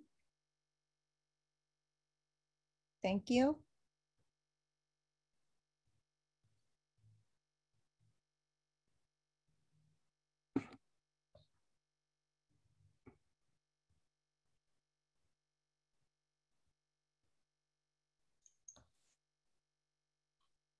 Okay. Mr. Roane, You have seven minutes. Your time begins now. Excellent. Thank you. Good afternoon. My name is Emory Roane. On behalf of Privacy Rights Clearinghouse and California consumers, thank you for allowing me to speak this afternoon. We are a San Diego based consumer privacy organization dedicated to improving privacy for all by empowering individuals through advocacy and education. We look forward to continuing to engage with the agency on an ongoing basis. Our comments this afternoon are focused on a single discrete recommendation Expanding the existing CCPA self-reporting record-keeping requirements will empower individuals, watchdog organizations, and the agency to monitor and audit businesses for CCPA compliance more effectively.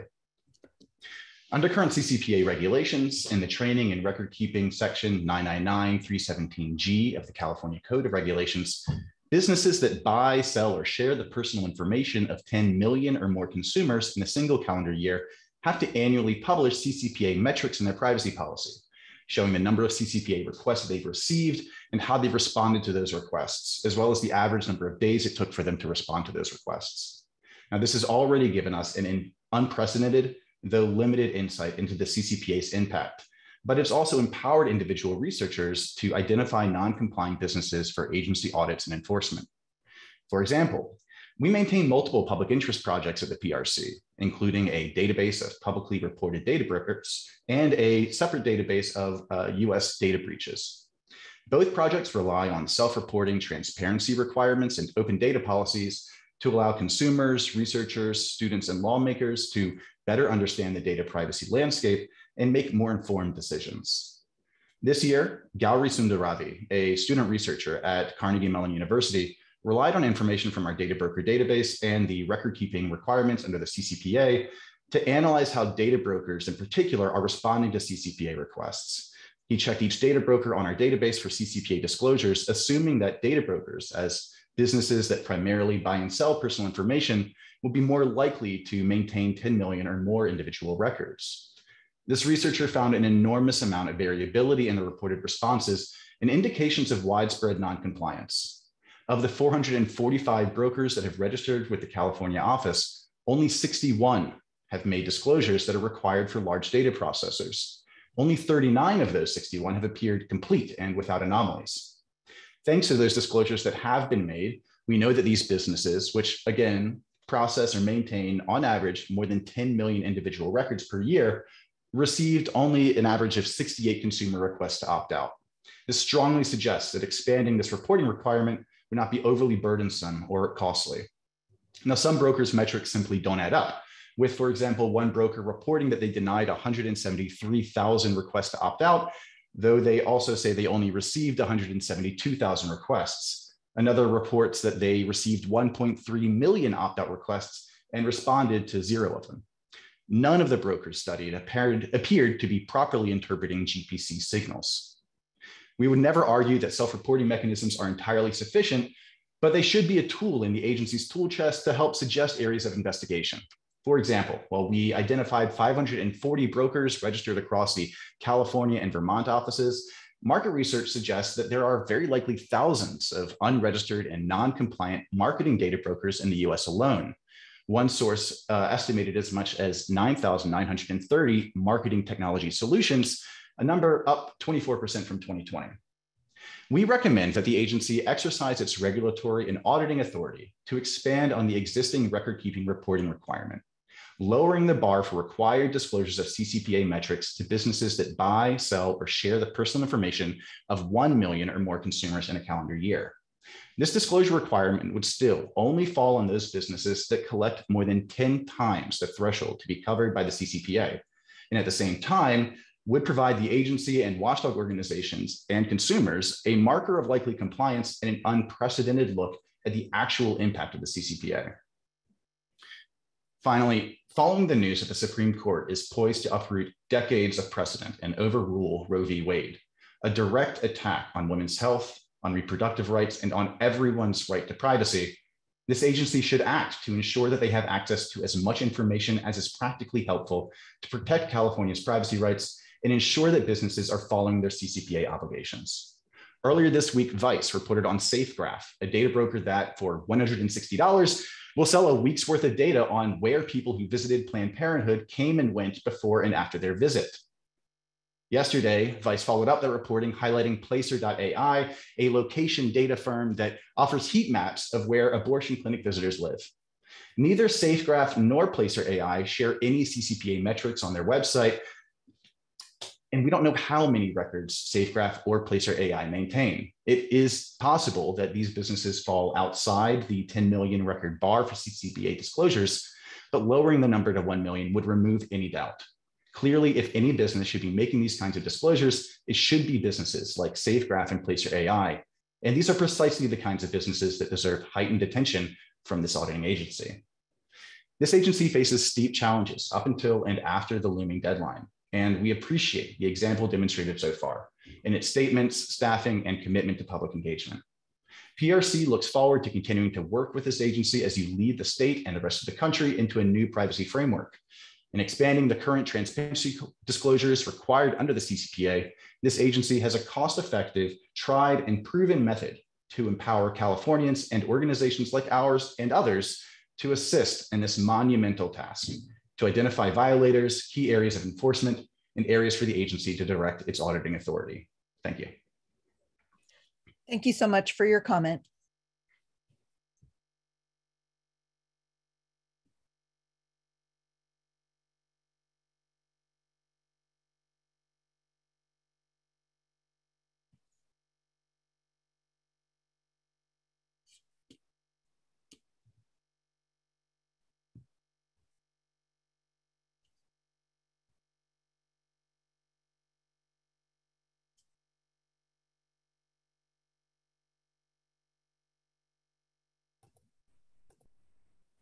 That was our last speaker for this session.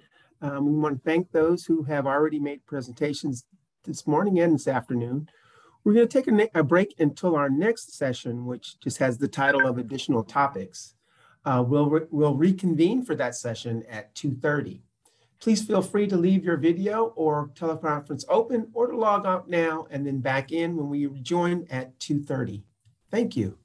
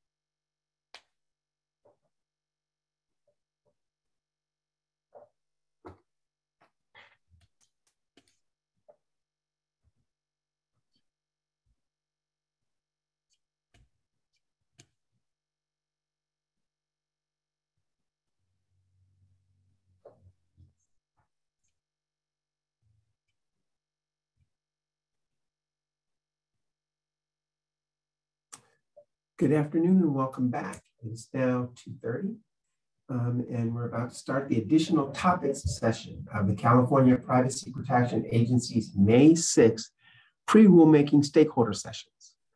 Um, the speakers that are scheduled to speak for the current session should be signed into the public Zoom link using the name and email they provided when they signed up to request their speaking slot. When it's your turn, our moderator will call your name and invite you to speak. If you hear your name, please raise your hand when your name is called using the raise your hand function, which can be found in the reaction feature on the bottom of your Zoom screen. Our moderator will then invite you to unmute yourself and invite you to turn on your camera if you wish. You will have seven minutes to provide your comments. In order to accommodate everyone, uh, we will be strictly keeping time and speaking for a shorter time is um, just fine.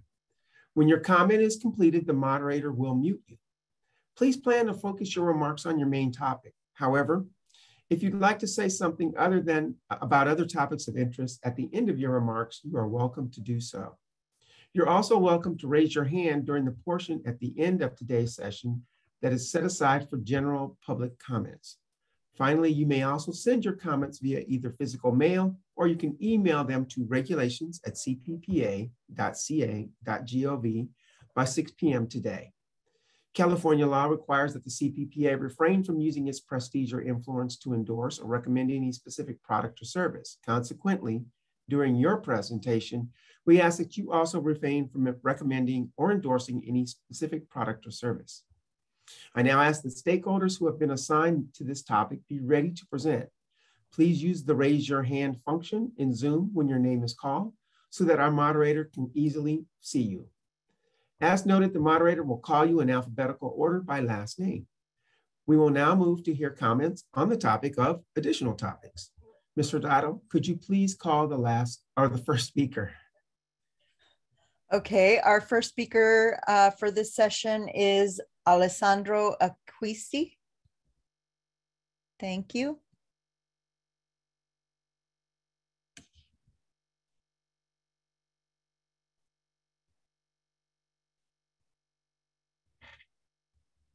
Okay, Mr. Acquisti, uh, you have seven minutes to speak. Your time begins now. Thank you. I'm grateful to the agency for this opportunity. I'm an economist who studies privacy and consumer decision making surrounding privacy. Um, I would like to make uh, two points today. The first concerning the economics of data privacy. The second concerning uh, data uh, dark patterns and behavioral interventions in the privacy space. Uh, point one, current economic research on data privacy is useful but uh, insufficient. A majority of research in my own field, that is a majority of economic work on privacy, tends to focus on the economic effects of privacy regulations, such as GDPR or in fact the California Consumer Privacy Act. Uh, while this work can be useful, there are numerous reasons why it's incomplete and insufficient including the fact that much of this research focuses on the few and narrow quantifiable effects of regulation, missing the broader importance and significance of privacy protection. Today, I would like to focus on one particular reason why current work on economic, economics of privacy has been insufficient to date. By focusing on the effects of regulation, economic research in this field has not sufficiently vetted data industry claims about the purported benefits for consumers arising from intrusive tracking technologies. Take online behavior advertising, for instance. Uh, it is often presented by data industry as an economic win-win, uh, a technology which benefits economically all different stakeholders, data intermediaries, advertisers, uh, publishers, and consumers there is in fact uh, very little empirical validations of these claims, very little autonomous, independent, uh, scholarly, objective empirical validation of these claims. In fact, we know very little about the economic impact of behavioral online advertising on consumers. We do know that it reduces search costs for consumers, but search costs are just one portion of a consumer's utility or welfare function. Uh, other elements of that function are the quality of, of products that consumers end up purchasing through ads and the quality of the vendors that uh, sell through ads. There is uh, little to no empirical work in this area and I encourage scholars and regulators, therefore, to focus their attention, not just uh, when study privacy economics, on the impact, on the economic impact of regulation, but in fact, focusing on what I call the allocation of economic benefits arising from data. To the extent that the collection of data creates economic value, where does that value go? Who um, uh, which stakeholders end up uh, receiving value from data collection. Point two, dark patterns is a new term for a old phenomenon, and we must pay attention to prior literature in this area. Behavior economists for over 40 years have investigated how firms can use and exploit knowledge of consumer behavior in order to influence that behavior. And this has happened in uh, areas as diverse as gambling and dieting, uh, physical exercises, and so forth. Now, the term dark patterns, as currently used, can be certainly useful as it can uh, catalyze the attention of regulators on the way online platforms design interfaces to influence their own users. But again, research in this area did not start in the last five years.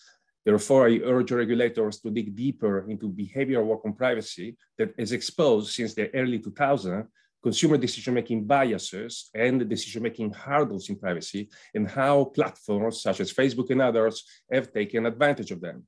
A review of that body of work can be found in uh, a piece that colleagues at Carnegie Mellon University and I published in 2017 in ACM Computing Surveys titled Nudges for Privacy and Security, Understanding and Assisting Users' Choices Online.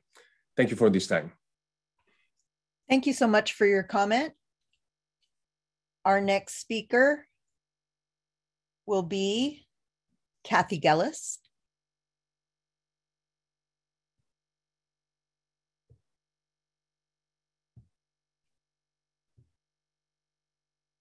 Thank you.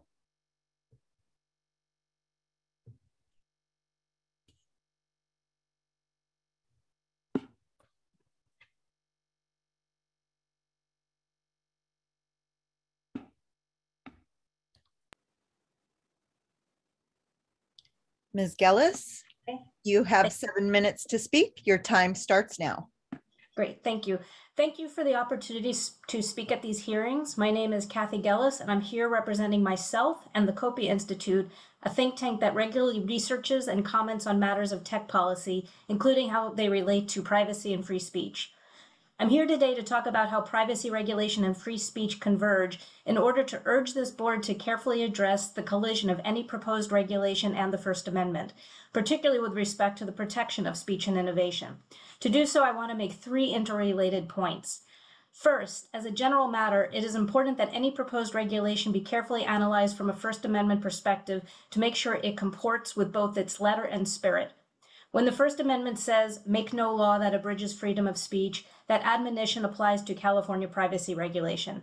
The enabling California legislation involved here itself acknowledges that it is only, quote, intended to supplement federal and state law where permissible, but shall not apply where such application is preempted by or in conflict with federal law or the California Constitution. And violating the First Amendment would run afoul of this clause. It's also important that any such regulation comport with the spirit of the First Amendment as well. The First Amendment exists to make sure we can communicate with each other, which is a necessary requirement of a healthy democracy and society. It would be an intolerable situation if these regulations were to chill our exchange of information and expression or to unduly chill innovation. While wanting online services to be careful with how they handle the digital footprints the public leaves behind, that's admirable, the public would not be well served if new and better technologies couldn't be invented or new businesses or competitors couldn't be established because California privacy regulation was unduly burdensome or simply an obstacle to new and better ideas. Along these lines, a second point to make is that California is not Europe. Free speech concerns do not get balanced here and cannot be balanced without violating the First Amendment. The experience of the GDPR in Europe is instructive in warning what happens when regulators try to make such a balance because invariably free expression suffers. For instance, privacy regulation in Europe has been used as a basis for powerful people to go after journalists and sue their critics, which makes criticizing them, even where necessary and even where under the First Amendment perfectly legal, difficult if not impossible, and thus chills important discourse. The GDPR has also been used to force journalists to divulge their sources, which is also anathema to the First Amendment and California law, along with itself violating the privacy values wrapped up in journalist source protection. It also chills the necessary journalism a democratic society depends on. And as an aside, as the, the journalistic arm of the Copia Institute has had its own reporting suppressed via GDPR pressure on search engines, so this is hardly a hypothetical concern. And it was the GDPR that opened the door to the entire notion of, quote, the right to be forgotten, which, despite platitudes to the contrary, has had a corrosive effect on discourse and the public's First Amendment recognized right to learn about the world around them, while also giving bad actors the ability to whitewash history so they can have cover for more bad acts. Meanwhile, we have seen in Europe and even the US how regulatory demands that have the effect of causing services to take down content invariably lead to too much content being taken down. Because these regulatory schemes create too great a danger for a service if they do not do enough to avoid sanction, they rationally choose to do too much in order to be safe than sorry. But when content has take, been taken down, it's the world who needs it who's sorry now. As well as the person who created the content, whose own expression has now been effectively harmed by an extrajudicial sanction. The First Amendment forbids prior restraint, which means that it's impermissible for speech to be published, punished before having been adjudicated to be wrongful. But we see time and time again such prior restraint happen thanks to regulatory pressure on the intermediary services online speakers need to use to speak, which forces them, these platforms, to do the government's censorial dirty work for it by causing expressive content to be deleted and without the necessary due process for the speaker. Then there's this next example, which brings up to my third and final point. Privacy regulation does not still stay well cabined so that it only affects large commercial entities it inevitably affects smaller ones, directly or indirectly. In the case of the GDPR, it affected the people who used Facebook to run fan pages, imposing upon these individuals who simply wanted to have a place where they could talk with others about their favorite subject, cripplingly burdensome li- regulatory liability. So, who will want to run these pages and foster such discourse when the cost can be so high? Care needs to be taken so that regulatory pressure does not lead to the loss of speech or community as the GDPR has done. And that means recognizing that there are a lot of good online services and platforms that are not large companies, which is good. We want there to be a lot of online services and platforms so that we have places for communities to form and converse with each other. But if people are deterred from setting them up, say their own fan sites, independent of Facebook even, then that's a huge problem because we won't get these communities or that conversation.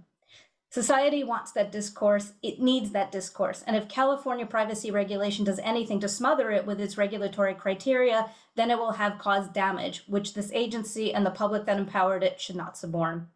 Thank you again for this opportunity to address you. A version of this testimony with hyperlinks to the aforementioned examples will be published on techdirt.com shortly. Thank you.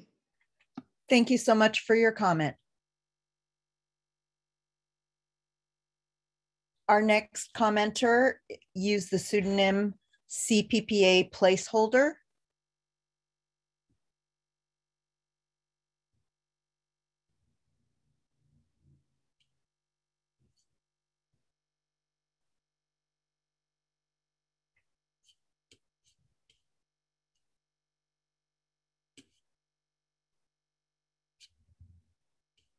I don't see them in the uh, attendee section. We'll move on to the next speaker, Dina Srinivasan. Sorry.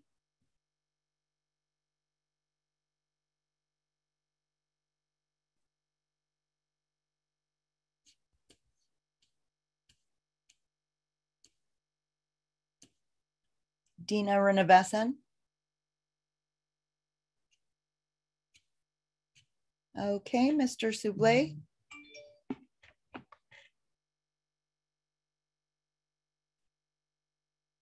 You're on mute. Checking one more time, is the person who used CPPA placeholder as a pseudonym? If you're there, please raise your hand so we can hear your comments. Give you a minute.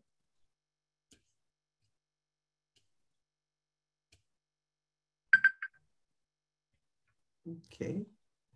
And then I'll try one more time. Um, I think it's Diana Suravasian. And of course, I'm murdering that last name, and I really apologize for that.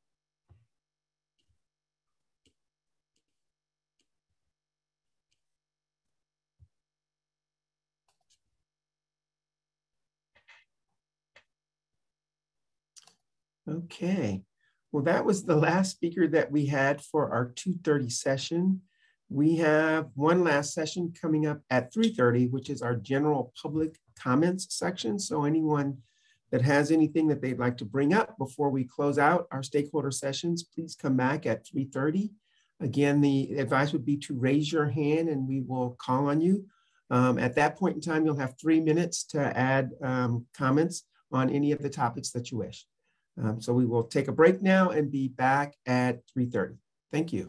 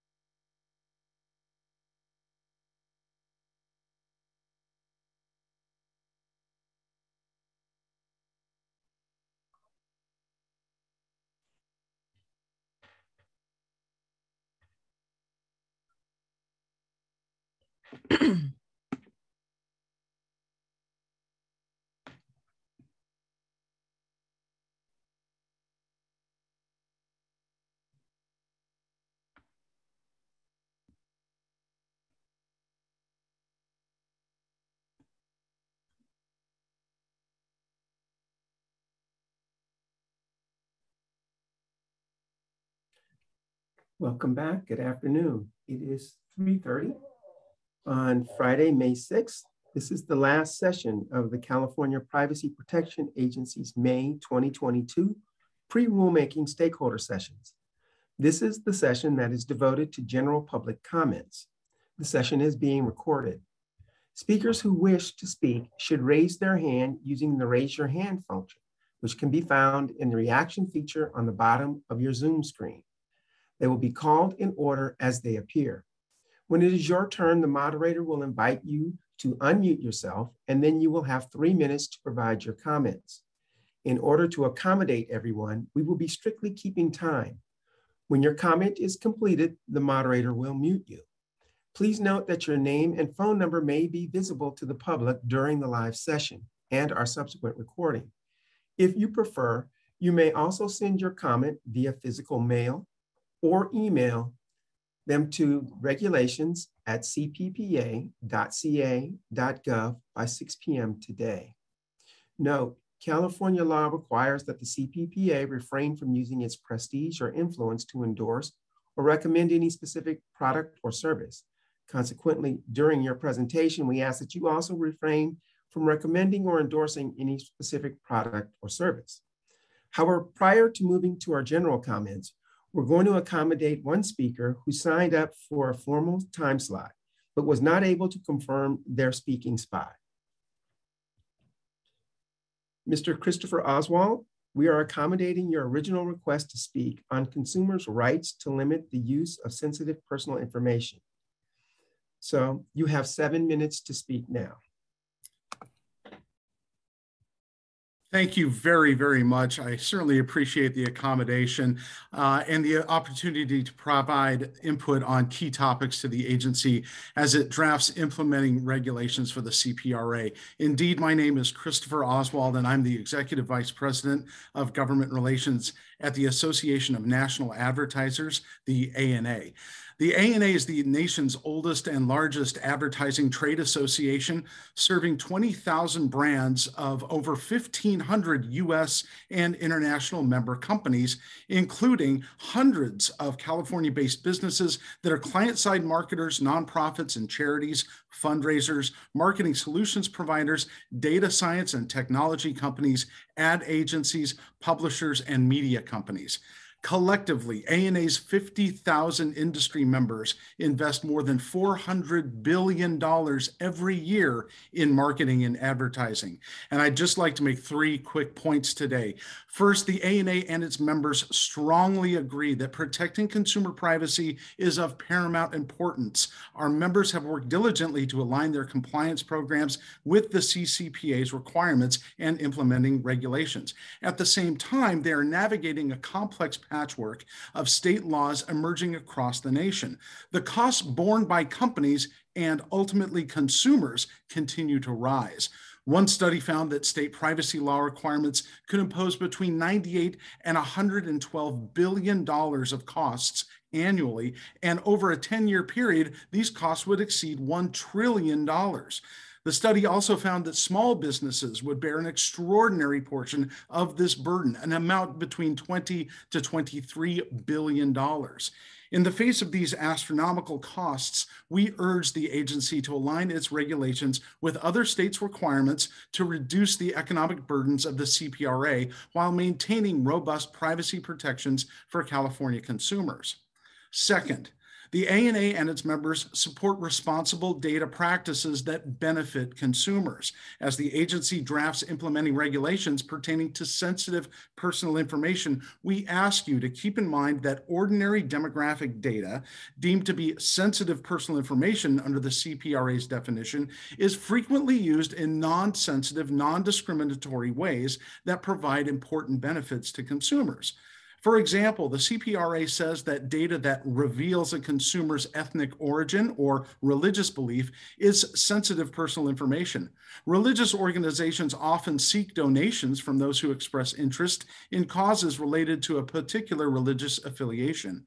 Here, the organization's intent is clear to find people belonging to or sympathetic to a particular faith or religious denomination in order to effectively communicate with them for the betterment of the group. Similarly, organizations of all sizes are increasingly using demographic data to inform their diversity, inclusion, and multicultural marketing efforts as they seek to serve the many different cultural groups across our country. Additionally, various ent entities, including US federal agencies, have used demographic data to target information about COVID 19 vaccines to, to particular constituencies. These are just a few reasons why the opt out approach inherent in the CPRA's right to limit the use and disclosure of sensitive personal information is the appropriate approach for the uses of such data.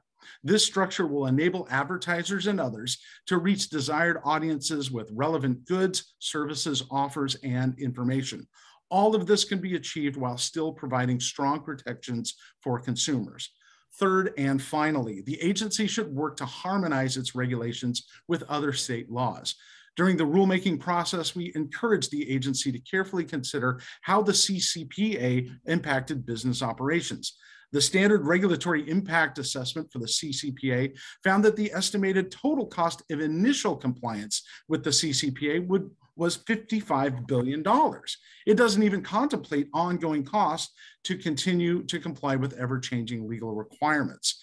Additionally, uh, the SRIA found that the vast majority of California businesses would be significantly impacted by the CCPA regulations. As a result, burdensome privacy CPRA regulations could have a substantially negative impact on the ability of small, mid-sized, and startup businesses to survive and flourish in California. It's ANA's hope that the agency will strive to strike an appropriate balance between protecting consumer privacy and allowing businesses to continue to innovate, subsidize the economy, and facilitate consumers' access to a wealth of information online. Thank you again very much for your indulgence and your accommodation and for the opportunity to speak with you today. We certainly look forward to working with you as you promulgate these regulations, and I'll be happy to submit my full testimony uh, to the record. Thank you so much. Thank you, Mr. Oswald. We'll now move to the general public comment phase. Please note, speakers will be limited to three minutes to provide their comments. Please raise your hand if you would like to speak. Ms. Hurtado, could you please call our first speaker? Uh, yes, our first speaker in this session is Andrea Cow.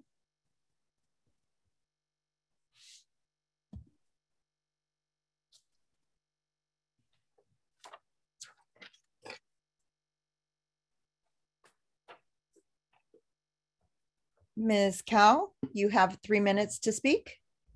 Your time starts now. Good afternoon, members of the CPPA board. Thank you for having us. My name is Andrea Cow, Public Policy Manager at the California Asian Pacific Chamber of Commerce, a statewide organization dedicated to giving voice to the over 600,000 Asian American and Pacific Islander owned businesses in California. We are the largest statewide ethnic chamber in the state with a mission to grow and strengthen the AAPI business community. The Chamber is concerned that the CPPA has yet to undertake the economic impact of privacy regulations as required by law. Small businesses, particularly minority owned small businesses, are already under significant stress, and additional regulations could heavily burden the thousands of small and minority owned businesses in California. The businesses we represent would like CPPA to show how many API owned businesses would be created and closed due to the CPPA regulations before any further action is taken. While the CPRA does include an exemption for businesses that deal with data of less than 100,000 individuals, it is important to note that small businesses will still be adversely impacted. Our chamber represents a diverse array of businesses across California. We hear from larger organizations about how compliance issues will impact their ability to do business. At the same time, small businesses have made it clear that any impacts to online platforms used by small businesses will trickle down to them, impacting their bottom line. For example, global opt-outs making advertising less efficient and more expensive for small businesses. We know that personalized ads have been a lifeline for small businesses throughout the pandemic, helping them find new customers and grow when an act as simple as meeting in person became prohibitive. We have heard from our members that small businesses have been able to expand and better compete with targeted online advertising. We recognize the CPPA is working to get out these regulations as fast as possible, but let us not trample on innovation for the sake of expediency. These regulations must balance critical privacy protections with impacts to large and small businesses alike. And the first step to ensure this balance is to understand the economic impact of these regulations. To date, that has, that has not happened. Thank you for your time. Thank you so much for your comment, Ms. Cow. Our next speaker, Julian Cañetas.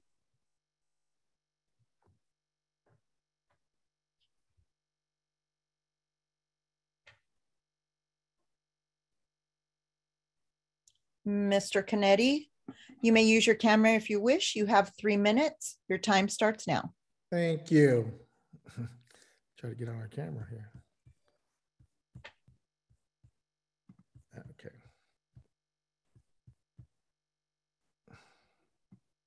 All right, great. Well, good afternoon, uh, members of the board. Julian Cañetas, President and CEO of the California Hispanic Chambers of Commerce. The CHEC represents the interests of the over 815,000 Hispanic business owners here in California and share many of the concerns of other stakeholders regarding the economic impacts of potential regulations. 56% of California small businesses experienced large negative effects such as layoffs, missed payments, and lost revenue during the pandemic. The, C, the, C, the CPPA needs to understand the economic impacts of regulations in order to minimize additional challenges and burdens on small business. California's small businesses have already been especially hard hit by the pandemic and cannot afford additional adverse impacts from rushed regulations.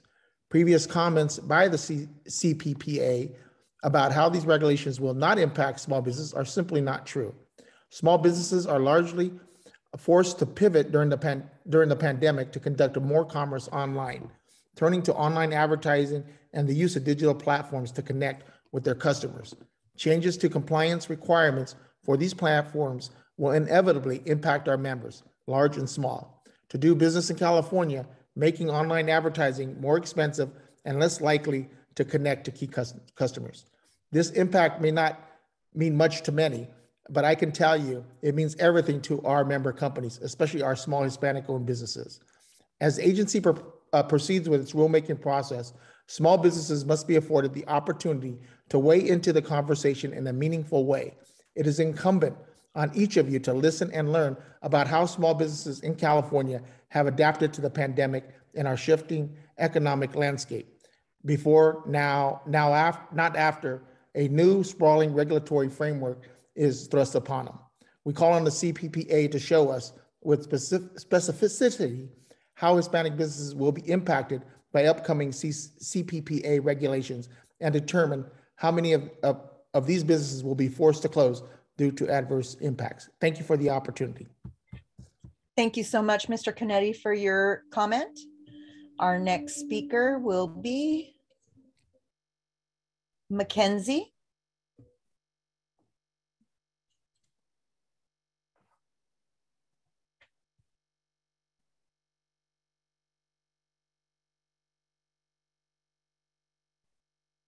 Okay. Uh, Ms. McKenzie, you have three minutes. Are you there? Yes, sorry. oh, that's okay. Okay, you have three, three minutes. Your time starts now. Okay. Good afternoon, Chair and members of the board. Thank you for this opportunity to speak. My name is Anya Morris, and I am a small business owner of the PAM firm located in Long Beach, California.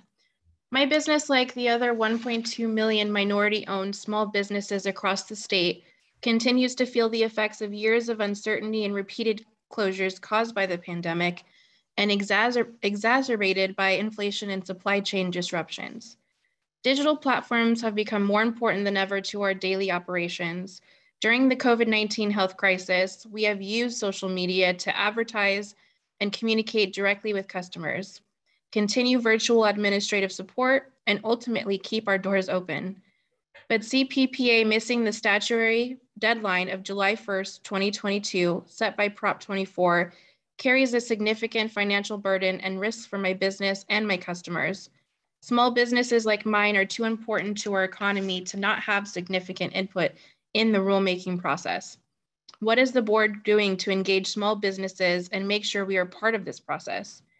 We are working every day to keep our doors open and cannot afford to spend our time monitoring CPPA's website for updates. There are over 4 million small businesses in this state. How many have you reached out to?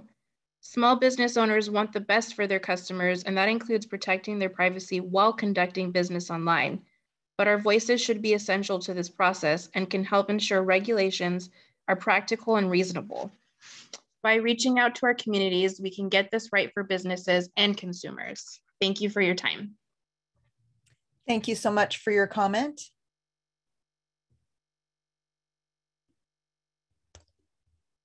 Just one moment.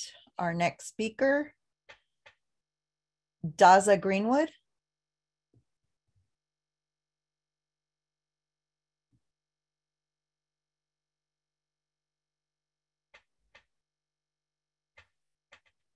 Okay, Mr. Greenwood, you have three minutes to speak. Your time begins now. Great. Um, thank you very much. I am Dazza Greenwood. Um, my company is civics.com. Uh, I should ask, how is my audio? Is coming through? Uh, your audio is fine, but your uh, video is uh, oh. the wrong way. There you go. we need consumer product definition of uh, orientation for screens, I guess. Um, so thank you for that. Um, I, I wanted to make some brief informal comments about the role of open standards. And, um, you know, I'm aware that there are um, more than one standards efforts uh, afoot now that would help businesses and consumers alike to, um, to actually um, conduct um, interactions under CCPA and, uh, and the related law. And I I would like to encourage the AG's office and the other regulatory bodies that are coming online soon to really embrace the open standards processes and to look at how the outputs of these standards can help um, to, to fill out the toolkit for implementation of the statute. Uh, and in particular, I think some comments um, earlier uh, in this process uh, in the previous days have may have suggested um, looking at some open standards as mandatory. Um, I'd, I'd, like to also suggest um, you know, voluntary standards um, are very important to consider. And one way to connect them to mandatory regulation would be um, as a voluntary safe harbor, perhaps to the extent that a standard is um, deemed by the regulator to meet or exceed the regulatory requirements um, as an option for businesses and consumers alike to adopt in order to comply with the regulations. Um, so uh, that's the that's the emphasis of my contribution now. Is I, I hope that you'll continue to um, really um, uh, support and reflect these standards efforts and to embrace and adopt them um, as regulation continues to evolve. Thank you. Thank you so much for your comment, Mr. Greenwood.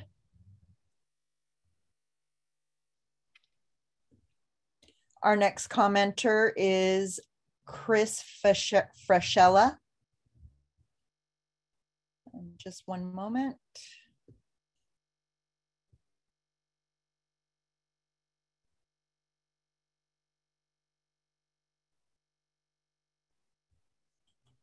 Good afternoon, and thank you for the opportunity to comment. Uh, my name is Chris Frascella with the Electronic Privacy Information Center, and I'm offering a comment about fraudulent emergency data access requests. So on March 29th, Brian Krebs published an article about hackers successfully obtaining personal data through fake emergency data requests, for example, by forging court documents or by compromising legitimate law enforcement email accounts. On April 26th, Bloomberg published an article on child victims of this practice. Bloomberg reported that Facebook, Apple, Google, and Snap are among the companies that have voluntarily given hackers consumer data. Reports suggest that, due to the alleged emergency, tech companies do not wait to verify the data access request with the impersonated law enforcement agency. The company merely notices that the email came from a law enforcement email domain and hands over the consumer's personal data to the hacker. The guardrails on emergency data access requests in section 1798.145A4 of the CCPA pertain to protecting against civil liberties abuses by government agencies. Because these guardrails are centered on internal agency determinations and commitments, they do not apply meaningfully against fraudsters. We ask, how can the agency protect consumer data from these attacks, which are only as successful as tech companies' policies and practices permit? In July of last year, Senators Wyden, Tillis, and Whitehouse introduced a bill that would require courts to use encrypted digital signatures to combat the use of counterfeit court orders.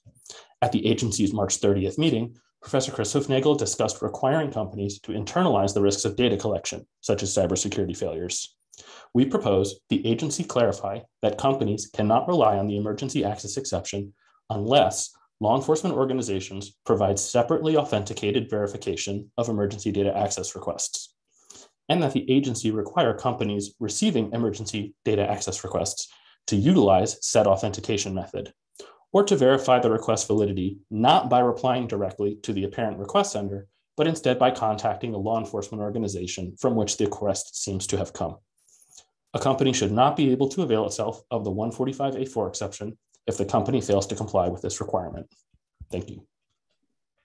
Thank you so much for your comment, Mr. Frascella. The next speaker is Alexis Carmichael.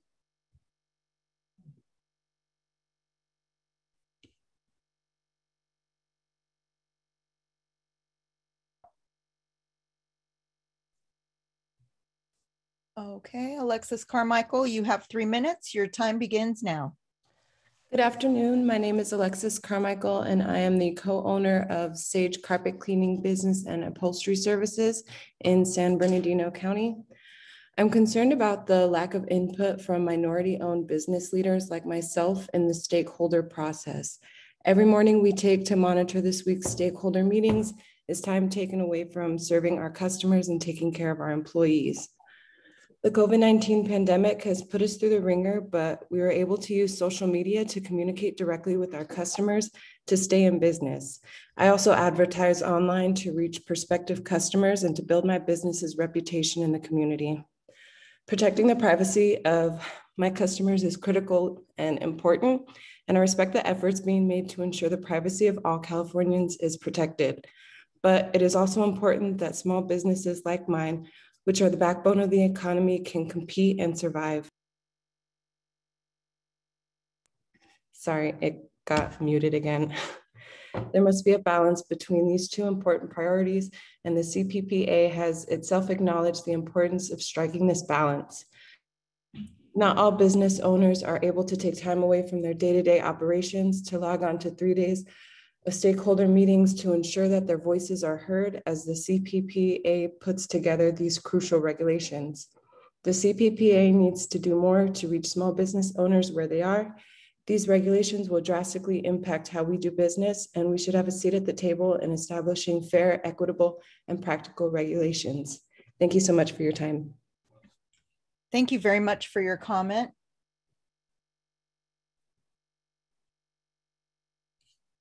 The next commenter is Edwin Lombard.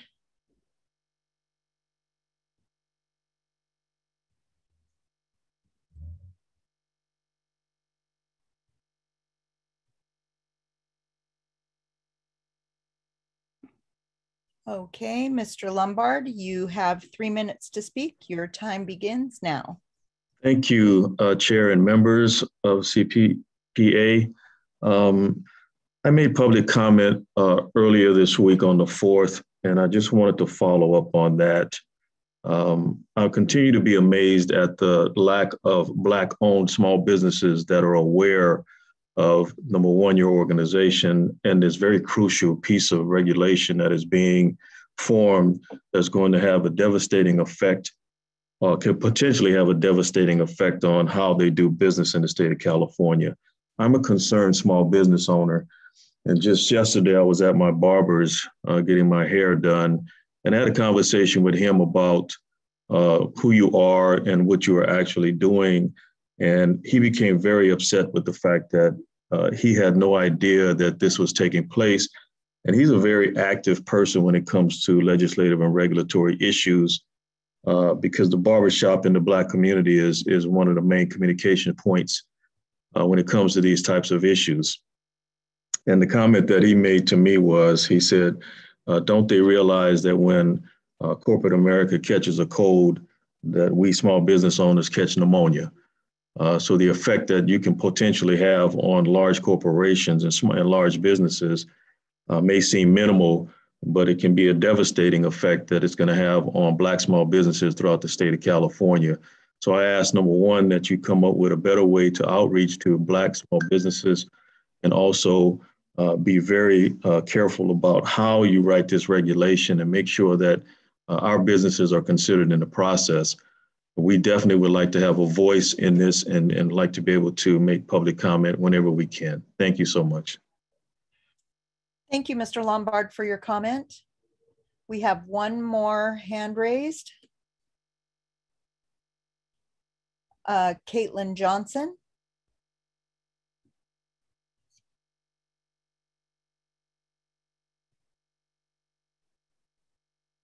Okay, Caitlin Johnson. You have three minutes to speak. Your time begins now. Great. Hi, good afternoon, everyone. Can you hear me all right? Yes. Okay, perfect. Um, so on behalf of California Water Association, um, we're providing these comments on the proposed regulations concerning the CCPA. CWA is the statewide association representing the interests of water utilities subject to the jurisdiction of the California PUC. CWA's members provide safe, reliable, high quality drinking water to approximately 6 million Californians.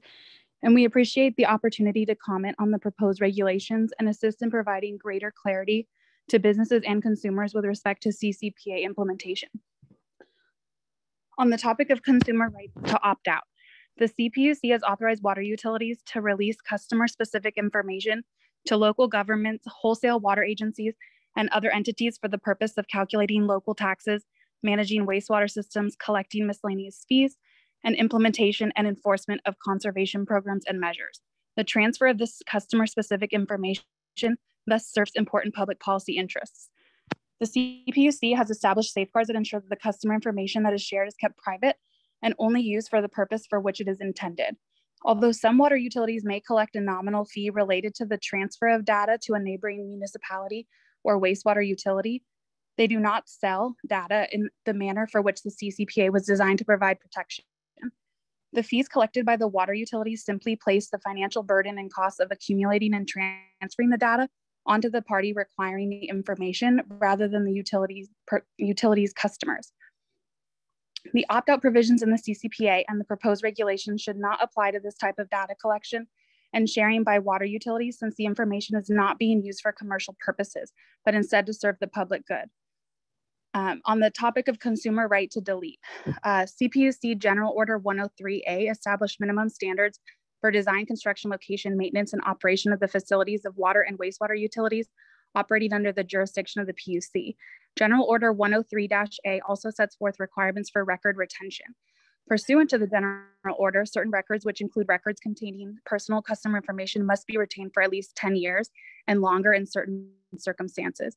In order to comply, water utilities are not in a position to grant customer requests under the CCPA to delete customer specific information unless the information was no longer required to be retained by the CP.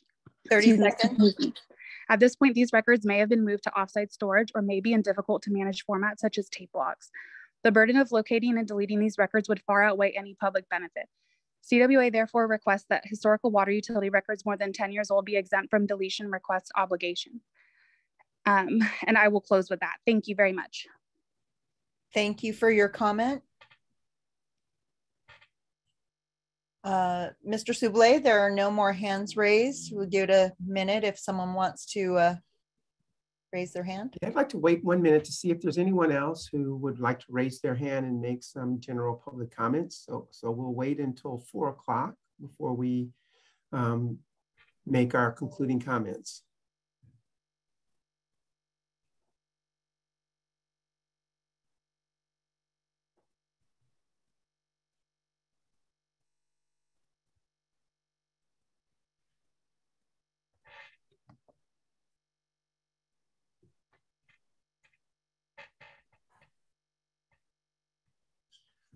Okay, I want to thank everyone that participated in our sessions this week.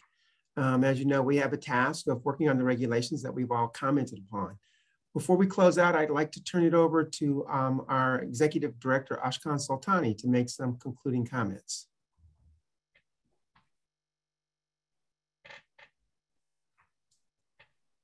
Thank you, Brian. Good afternoon, everyone, and thank you all for participating in the CPPA's May 2022 pre-rulemaking stakeholder sessions. I wanted to express my sincere gratitude to all the stakeholders that took the time to provide comment over these last three days. We truly appreciate the diverse voices that have been uh, that have participated as the and provided the perspectives offered.